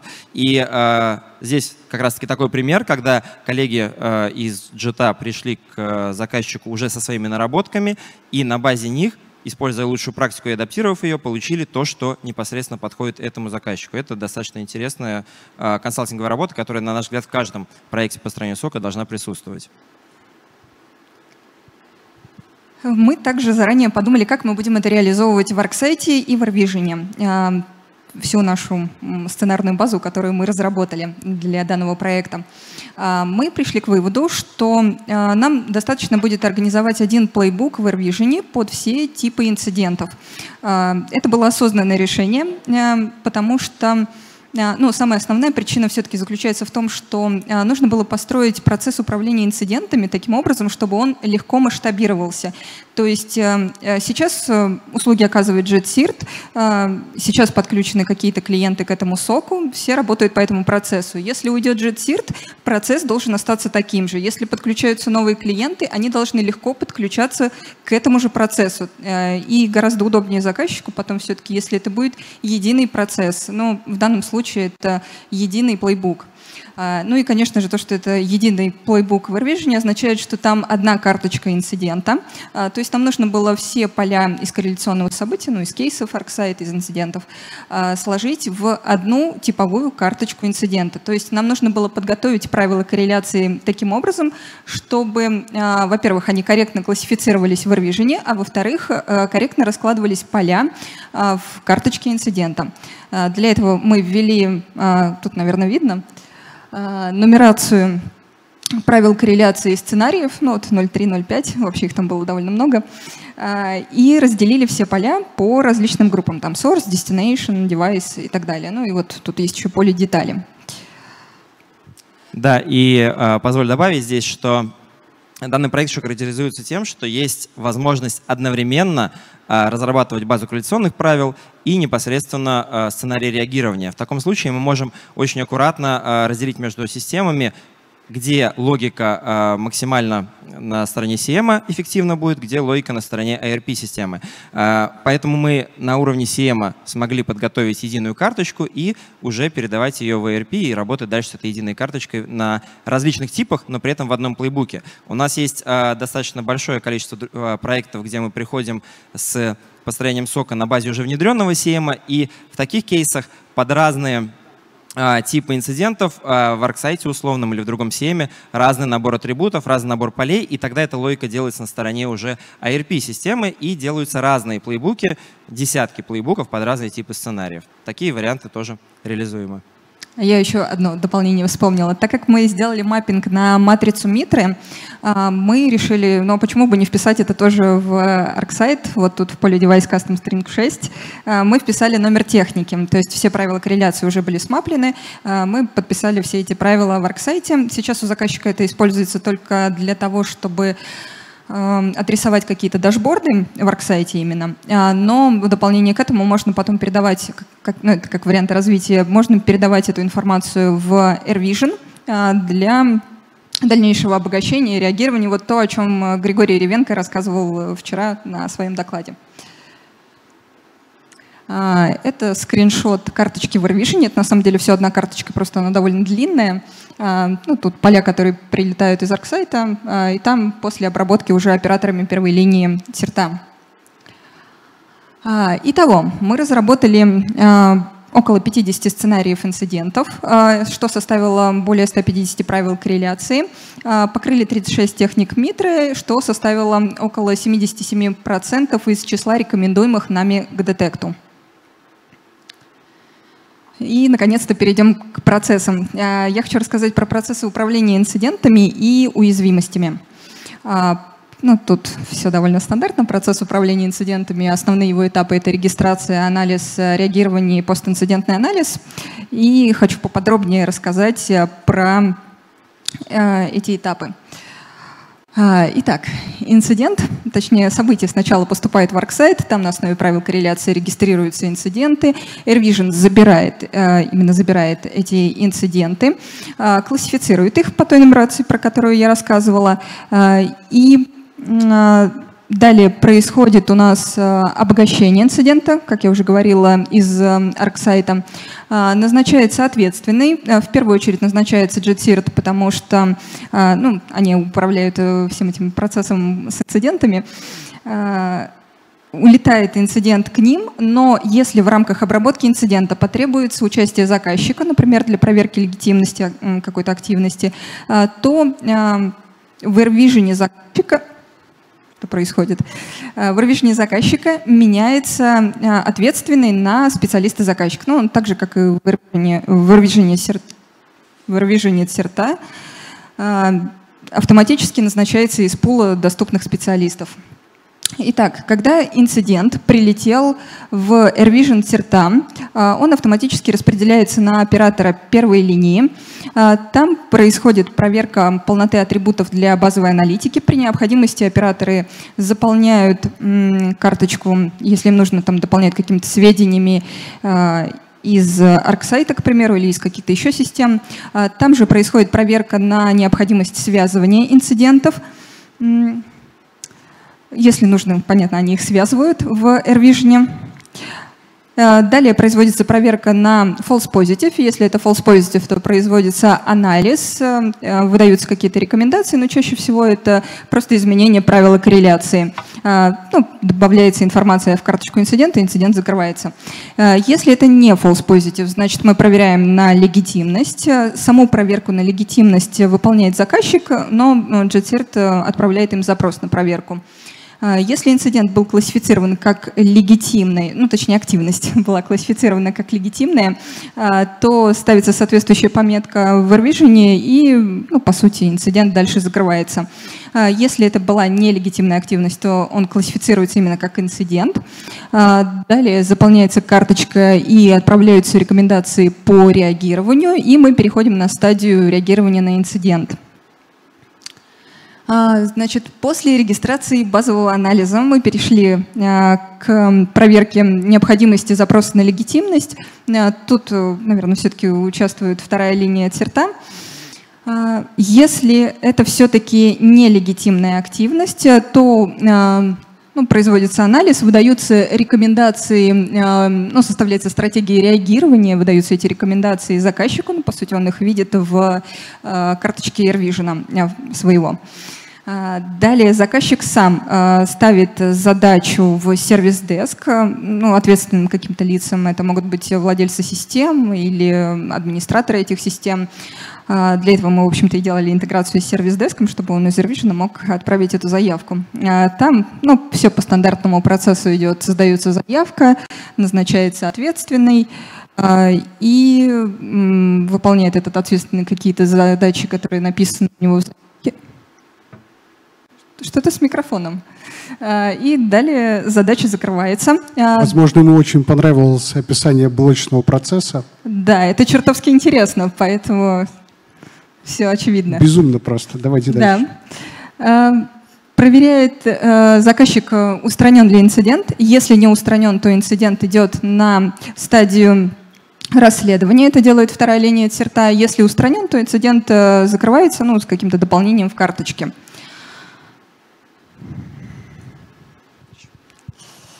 Да, и э, здесь перед э, системой непосредственно стоят несколько задач. Первая из них — это сделать этот процесс бесшовным, то есть на стороне каждой из э, скажем так, пользователи каждой из инсталляций, то есть со стороны сервис-провайдера MSSP, э, JetSecure, со стороны э, заказчика в данном случае, э, не должно быть каких-то странных артефактов переходов. Две системы полностью интегрированы по API, у них синхронизированы и смаплены их справочники и специфика процессов и жизненного цикла с обеих сторон, со стороны MSP-провайдера, со стороны заказчика. И для каждой из сторон это выглядит бесшовным процессом, словно бы работа в единой системе в одном плейбуке. В свою очередь, с платформой CM мы взаимодействуем здесь а, пулом, то есть мы забираем из нее инциденты, а, но на других проектах, опять же, у нас есть кейсы, где со стороны CM в нас пушатся инциденты по API. Это может быть где-то целесообразнее, чтобы убрать временной лаг, чтобы поработать с точки зрения нагрузки на базу. Но в данном случае это пул, это коробочный коннектор.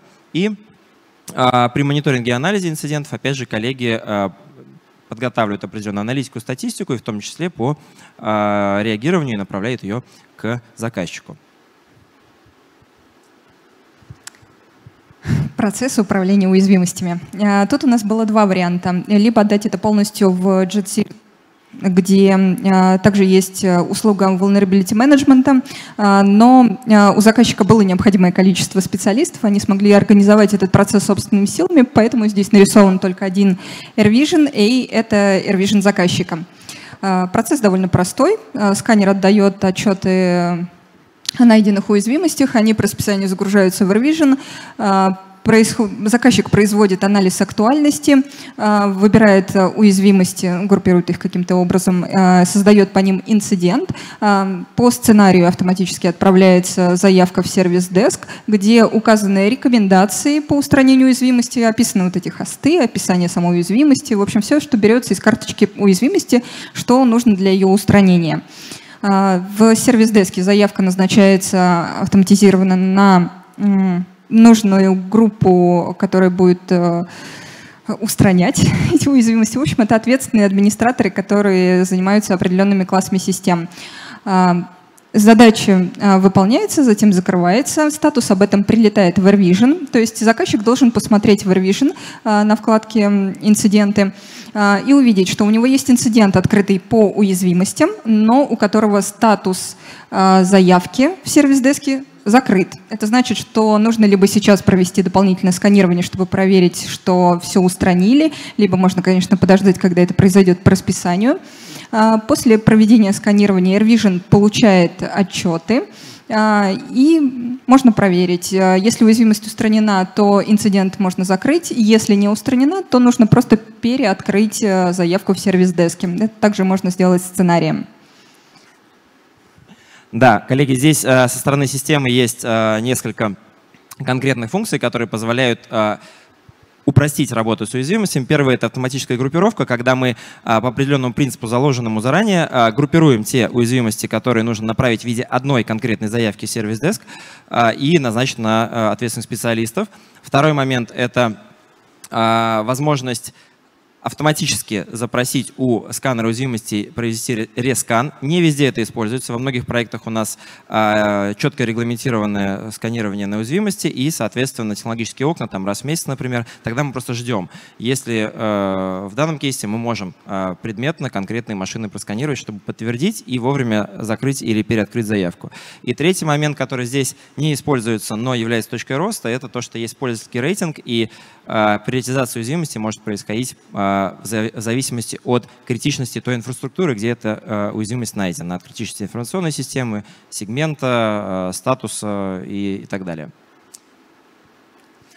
Для того, чтобы реализовать все эти процессы, мы настроили э, коннекторы. Это были как коробочные коннекторы, так и наши самописные. Э, AirVision позволяет э, это делать. А, коробочных, конечно, было гораздо больше. Э, в части получения информации по инцидентам это были коннекторы для ArcSight, а, MS Exchange и разработанный нами коннектор для обогащения к ArcSight. А, в части получения информации об активах, во-первых, основным источником являлся сам коллектор AirVision, который по расписанию сканирует сети. Но также мы настроили коннекторы к Касперскому, MSSCCM и Max Patrol 8. А, в части уязвимости это коннектор к Max Patrol 8, и в части Service Desk это был разработанный нами коннектор, а, потому что это не совсем распространенная на рынке система. Но в дальнейшем заказчик планирует переходить на другую систему, для которой у AirVision есть уже коннектор. А, и там все довольно просто настраивается. В принципе, достаточно добавить маппинг. Я не буду здесь что-то добавлять. Давай на следующий слайд, а то Лев уже хочет задавать вопросы. Да, да, да, все ровно так. Подведем итог. Хорошо, я ускорюсь. Э, что же получил заказчик? Э, заказчик получил полностью готовую техническую инфраструктуру под ключ для оказания услуг СОК, э, получил разработанные процессы для оказания этих самых услуг. Причем мы обучили заказчика, как работать по этим процессам и вообще как работать и в ArcSight, и в AirVision. И заказчик получил готовую организационно-штатную структуру, ну, пока что силами JetSerta, а, но а, упорно пытается набрать людей на первую и вторую линию, и в рамках взаимодействия с JetSerta они как раз-таки учатся и работе по процессам, ну и в целом работе на первой и второй линии сока. Да, на этом, наверное, э, все. Стоит подвести общий итог с нашей стороны. Э, для нас, если придешь следующий слайд, я скажу лишь то, что у нас есть, как у вендора, а, целый ряд партнеров, с которыми мы вместе строим подобные проекты, и нужно понимать, когда вы приступаете к подобному проекту, как минимум четыре главных момента, да, которые я подсветил. Первое о том, что это комплексный проект, то есть у вас будет много процессов в рамках построения сока, у вас будет множество решений, которые нужно интегрировать друг с другом, и множество вовлеченных подразделений, с которыми нужно придумать, как вы будете общаться через уведомления, телеграм-боты по почте, через э, интеграции с сервис-деском и прочее. А, любой проект обязательно должен состоять из трех главных э, элементов. Это опыт людей, которые это строят, то есть компетенции, которые у вас либо внутри есть, либо вы их привлекаете, э, так сказать, на аутсорсинг. Э, стек продуктов, которые вы выбираете разумно, потому что вам с этим жить много лет, и, соответственно, пилотировать, смотреть на практике, что продукт вам подходит и решает ваши задачи. А, нерешаемый, а реально решает, да, то есть не маркетингово это происходит. И команда внутри. Очень важно, чтобы э, ваша команда была э, вовлечена в процесс построения и обучена, и понимала, что и как, каким образом делается, потому что именно этой команде предстоит работать с тем, что после ухода с проекта проектная команда передаст в эксплуатацию. А, стратегия может быть разная. У нас есть проекты, где мы комплексно строим сок, и конкретно э, проваливаемся в каждый из процессов, или мы начинаем, например, с управления инцидентами, потом постепенно в следующем году, например, переходим к управлению уязвимостями и так далее. И самое главное, что э, построение сока, как его эксплуатация, это never ending story, это практически бесконечная постоянная модернизация, перестроение, адаптация, но важно на какой-то момент фиксировать конкретный достижимый результат, измеримый и его а, достигать, строить процесс, фиксировать результат и конкретные метрики его достижения проверять. А, не буду рассказывать последний слайд. Лев, мы закончили. Спасибо большое, спасибо большое. Ты закончил как классический Тони Робинсон, чтобы процесс функционировал, надо его строить, мерить и достигать. Я да. благодарен. Давайте поаплодируем коллегам, это было продолжительно, как минимум. А, один микрофончик я прошу оставить на стол, ну, потому что все-таки все мы вместе здесь сегодня собрались. У меня буквально там пару ремарочек. Э, был потрясающий слайд, где вы демонстрировали структуру папочек в арксайте. Это прям вот он произведение искусства, да. И отдельный респект за то, что все-таки в нашем импортозамещенном обществе все-таки делается на текущий момент интеграция с ArcSight. Это потрясающе и правильно. Ну и, конечно, большой респект э, компании Revision за первую в мире удачную интеграцию собственного продукта с собственным продуктом. То есть... Это было очень сложно, не поверь. Я, я уверен в этом. Два года разработки а в поте. Мы как Jet им помогали, кстати говоря. А? Что? Мы как Jet им помогали. А, вы помогали, да? То есть э, в интеграции... Конечно, са- самим справиться с задачей по интеграции самим с собой. Потрясающе. Коллеги, тогда давайте еще раз поаплодируем и перейдем к сессии вопросов. И а, тут первый вопрос, насколько я понимаю, был у Антона, да? Готов? Ну, давай, давай. Так, коллеги, спасибо за доклад. А, извините, может, за такой вопрос. А зачем здесь ERP, кроме того, что это удобно джету? Я честно не понял. Вы сказали о том, что у вас автоматизированы три процесса. Что это за процессы и как это вы сделали в одном плейбуке? А, автоматизировано у нас э, три процесса. Это процесс управления уязвимостями, активами и инцидентами. А и в чем автоматизация? По Э, в чем автоматизация? Ну, то, что это как минимум в AirVision не работает. Ну, э, на, наверное, в том, что вот то, что все было на схемах, все шаги процесса, они происходят в системе, и большая их часть происходит автоматически, и человек, как э, рассказывал Андрей, кстати, очень хорошо цели э, внедрения ERP, человек не тратит на эту рутину времени, и реагирование происходит там не за полчаса, а за несколько минут. По крайней мере, вот эти шаги, которые в системе. Ну, ладно, давайте уж потом тогда поспорим. Там процессы бизнес, там, оценить э, false позитив или не false позитив. Система, наверное, это не делает. Альтернатива является почта, и э, если посмотреть на то, насколько это было построено обмен по почте, человеческий фактор, э, читаемость писем и прочее, и работа с понятной карточкой, нормализованной и дедублицированной, это ну, совсем другое дело. Скорость, опять же, работы аналитиков по той же самой задаче, даже если она человеком делается. Ну, все-таки стоимость автоматизации почты в данном случае, наверное, такой вопрос интересный. А есть еще вопрос, а, как раз-таки пришедший в замечательный чат-бот. А, да, прям вот практически сейчас, а, процитирую, было сказано, что при управлении уязвимостями создаются тикеты для их закрытия. Да, фиксируйте мысль. Хорошо. По каждой уязвимости создается тикет, так? По каждой уязвимости? По группе уязвимостей, которые э, можно по каждой уязвимости... Ну, короче говоря, есть разные варианты.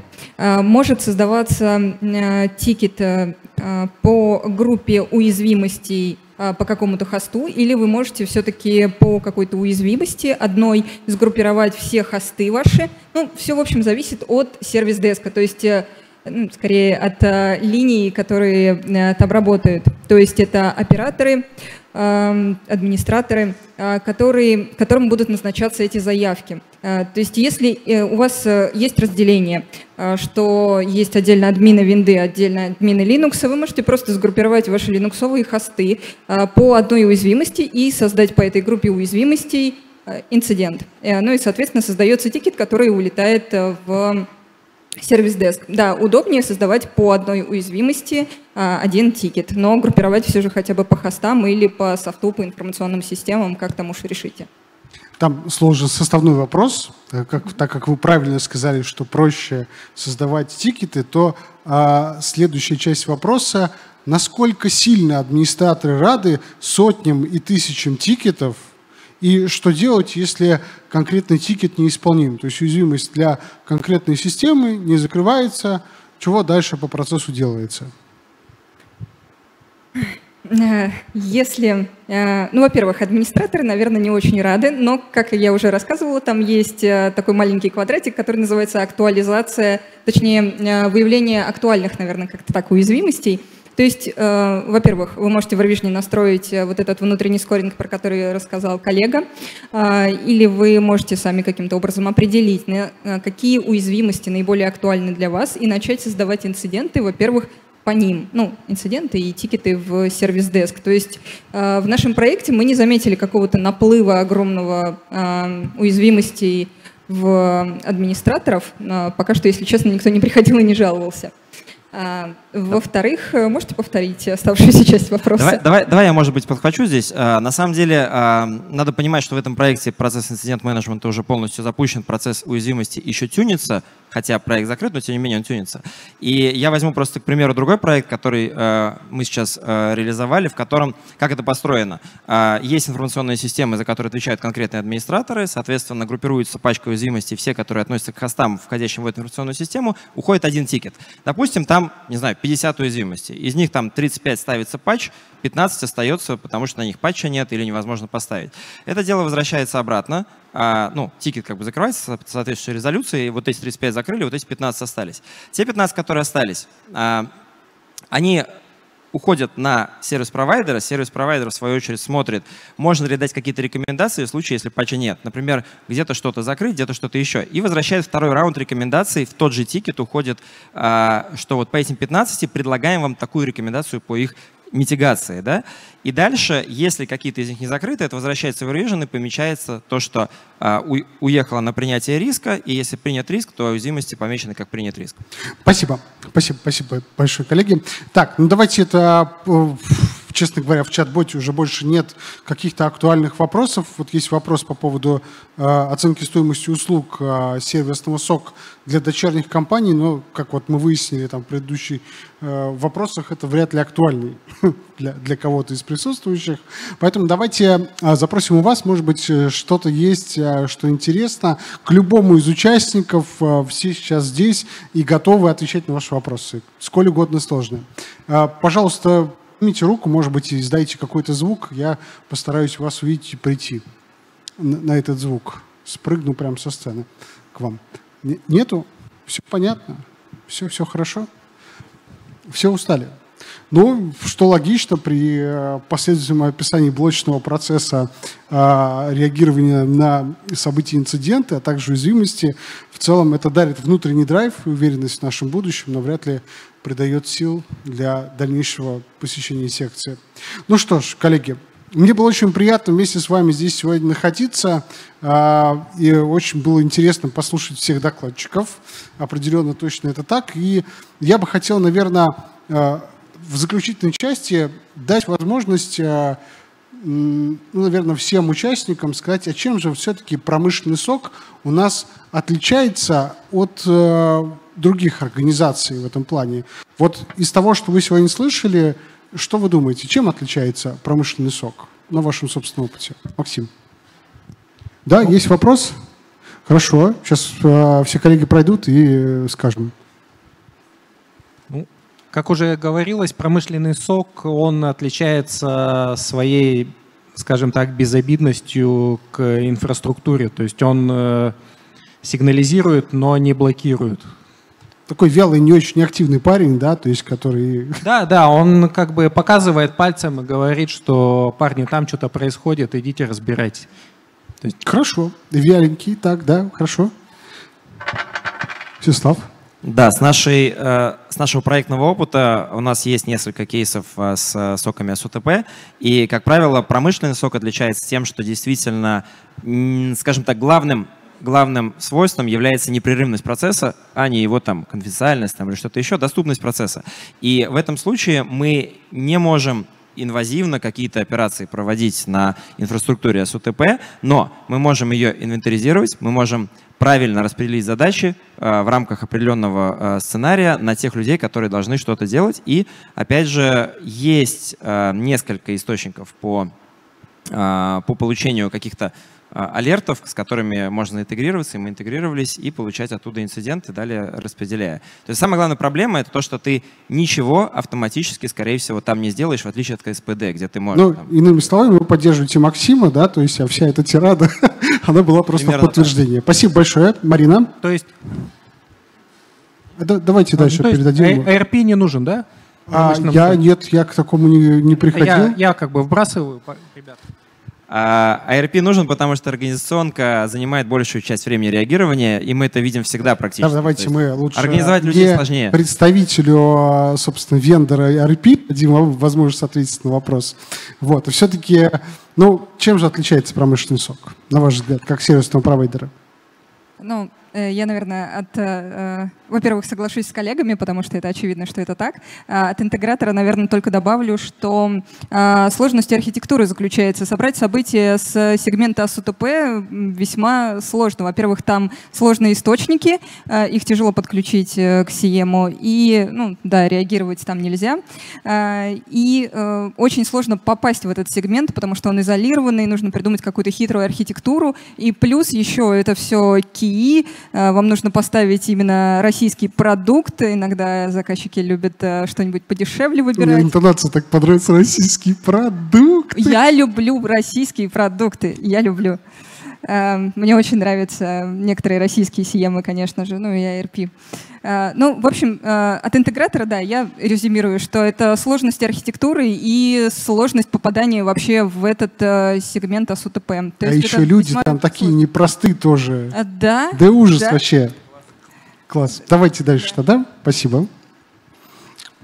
собственно, я, наверное, с коллегами соглашусь. Они уже большую часть вещей сказали. Единственное, наверное, я бы еще добавил, что э, промышленный сок, он позволяет, э, ну, как в подводной лодке, да, когда мы видим какое-то, что-то происходит в каком-то сегменте АСУТП, мы можем его изолировать как отсек, да, в подводной лодке, и там они будут бороться за живучесть, и, но мы при, при этом сможем предотвратить дальнейшее ну, заражение, какое-то распространение этого инцидента на другие секторы. Ну, то есть эти непростые люди еще бесчувственные, если что, от части корабля спокойно избавиться. Конечно. Спасибо большое, Андрей. Хорошее, да, резюме.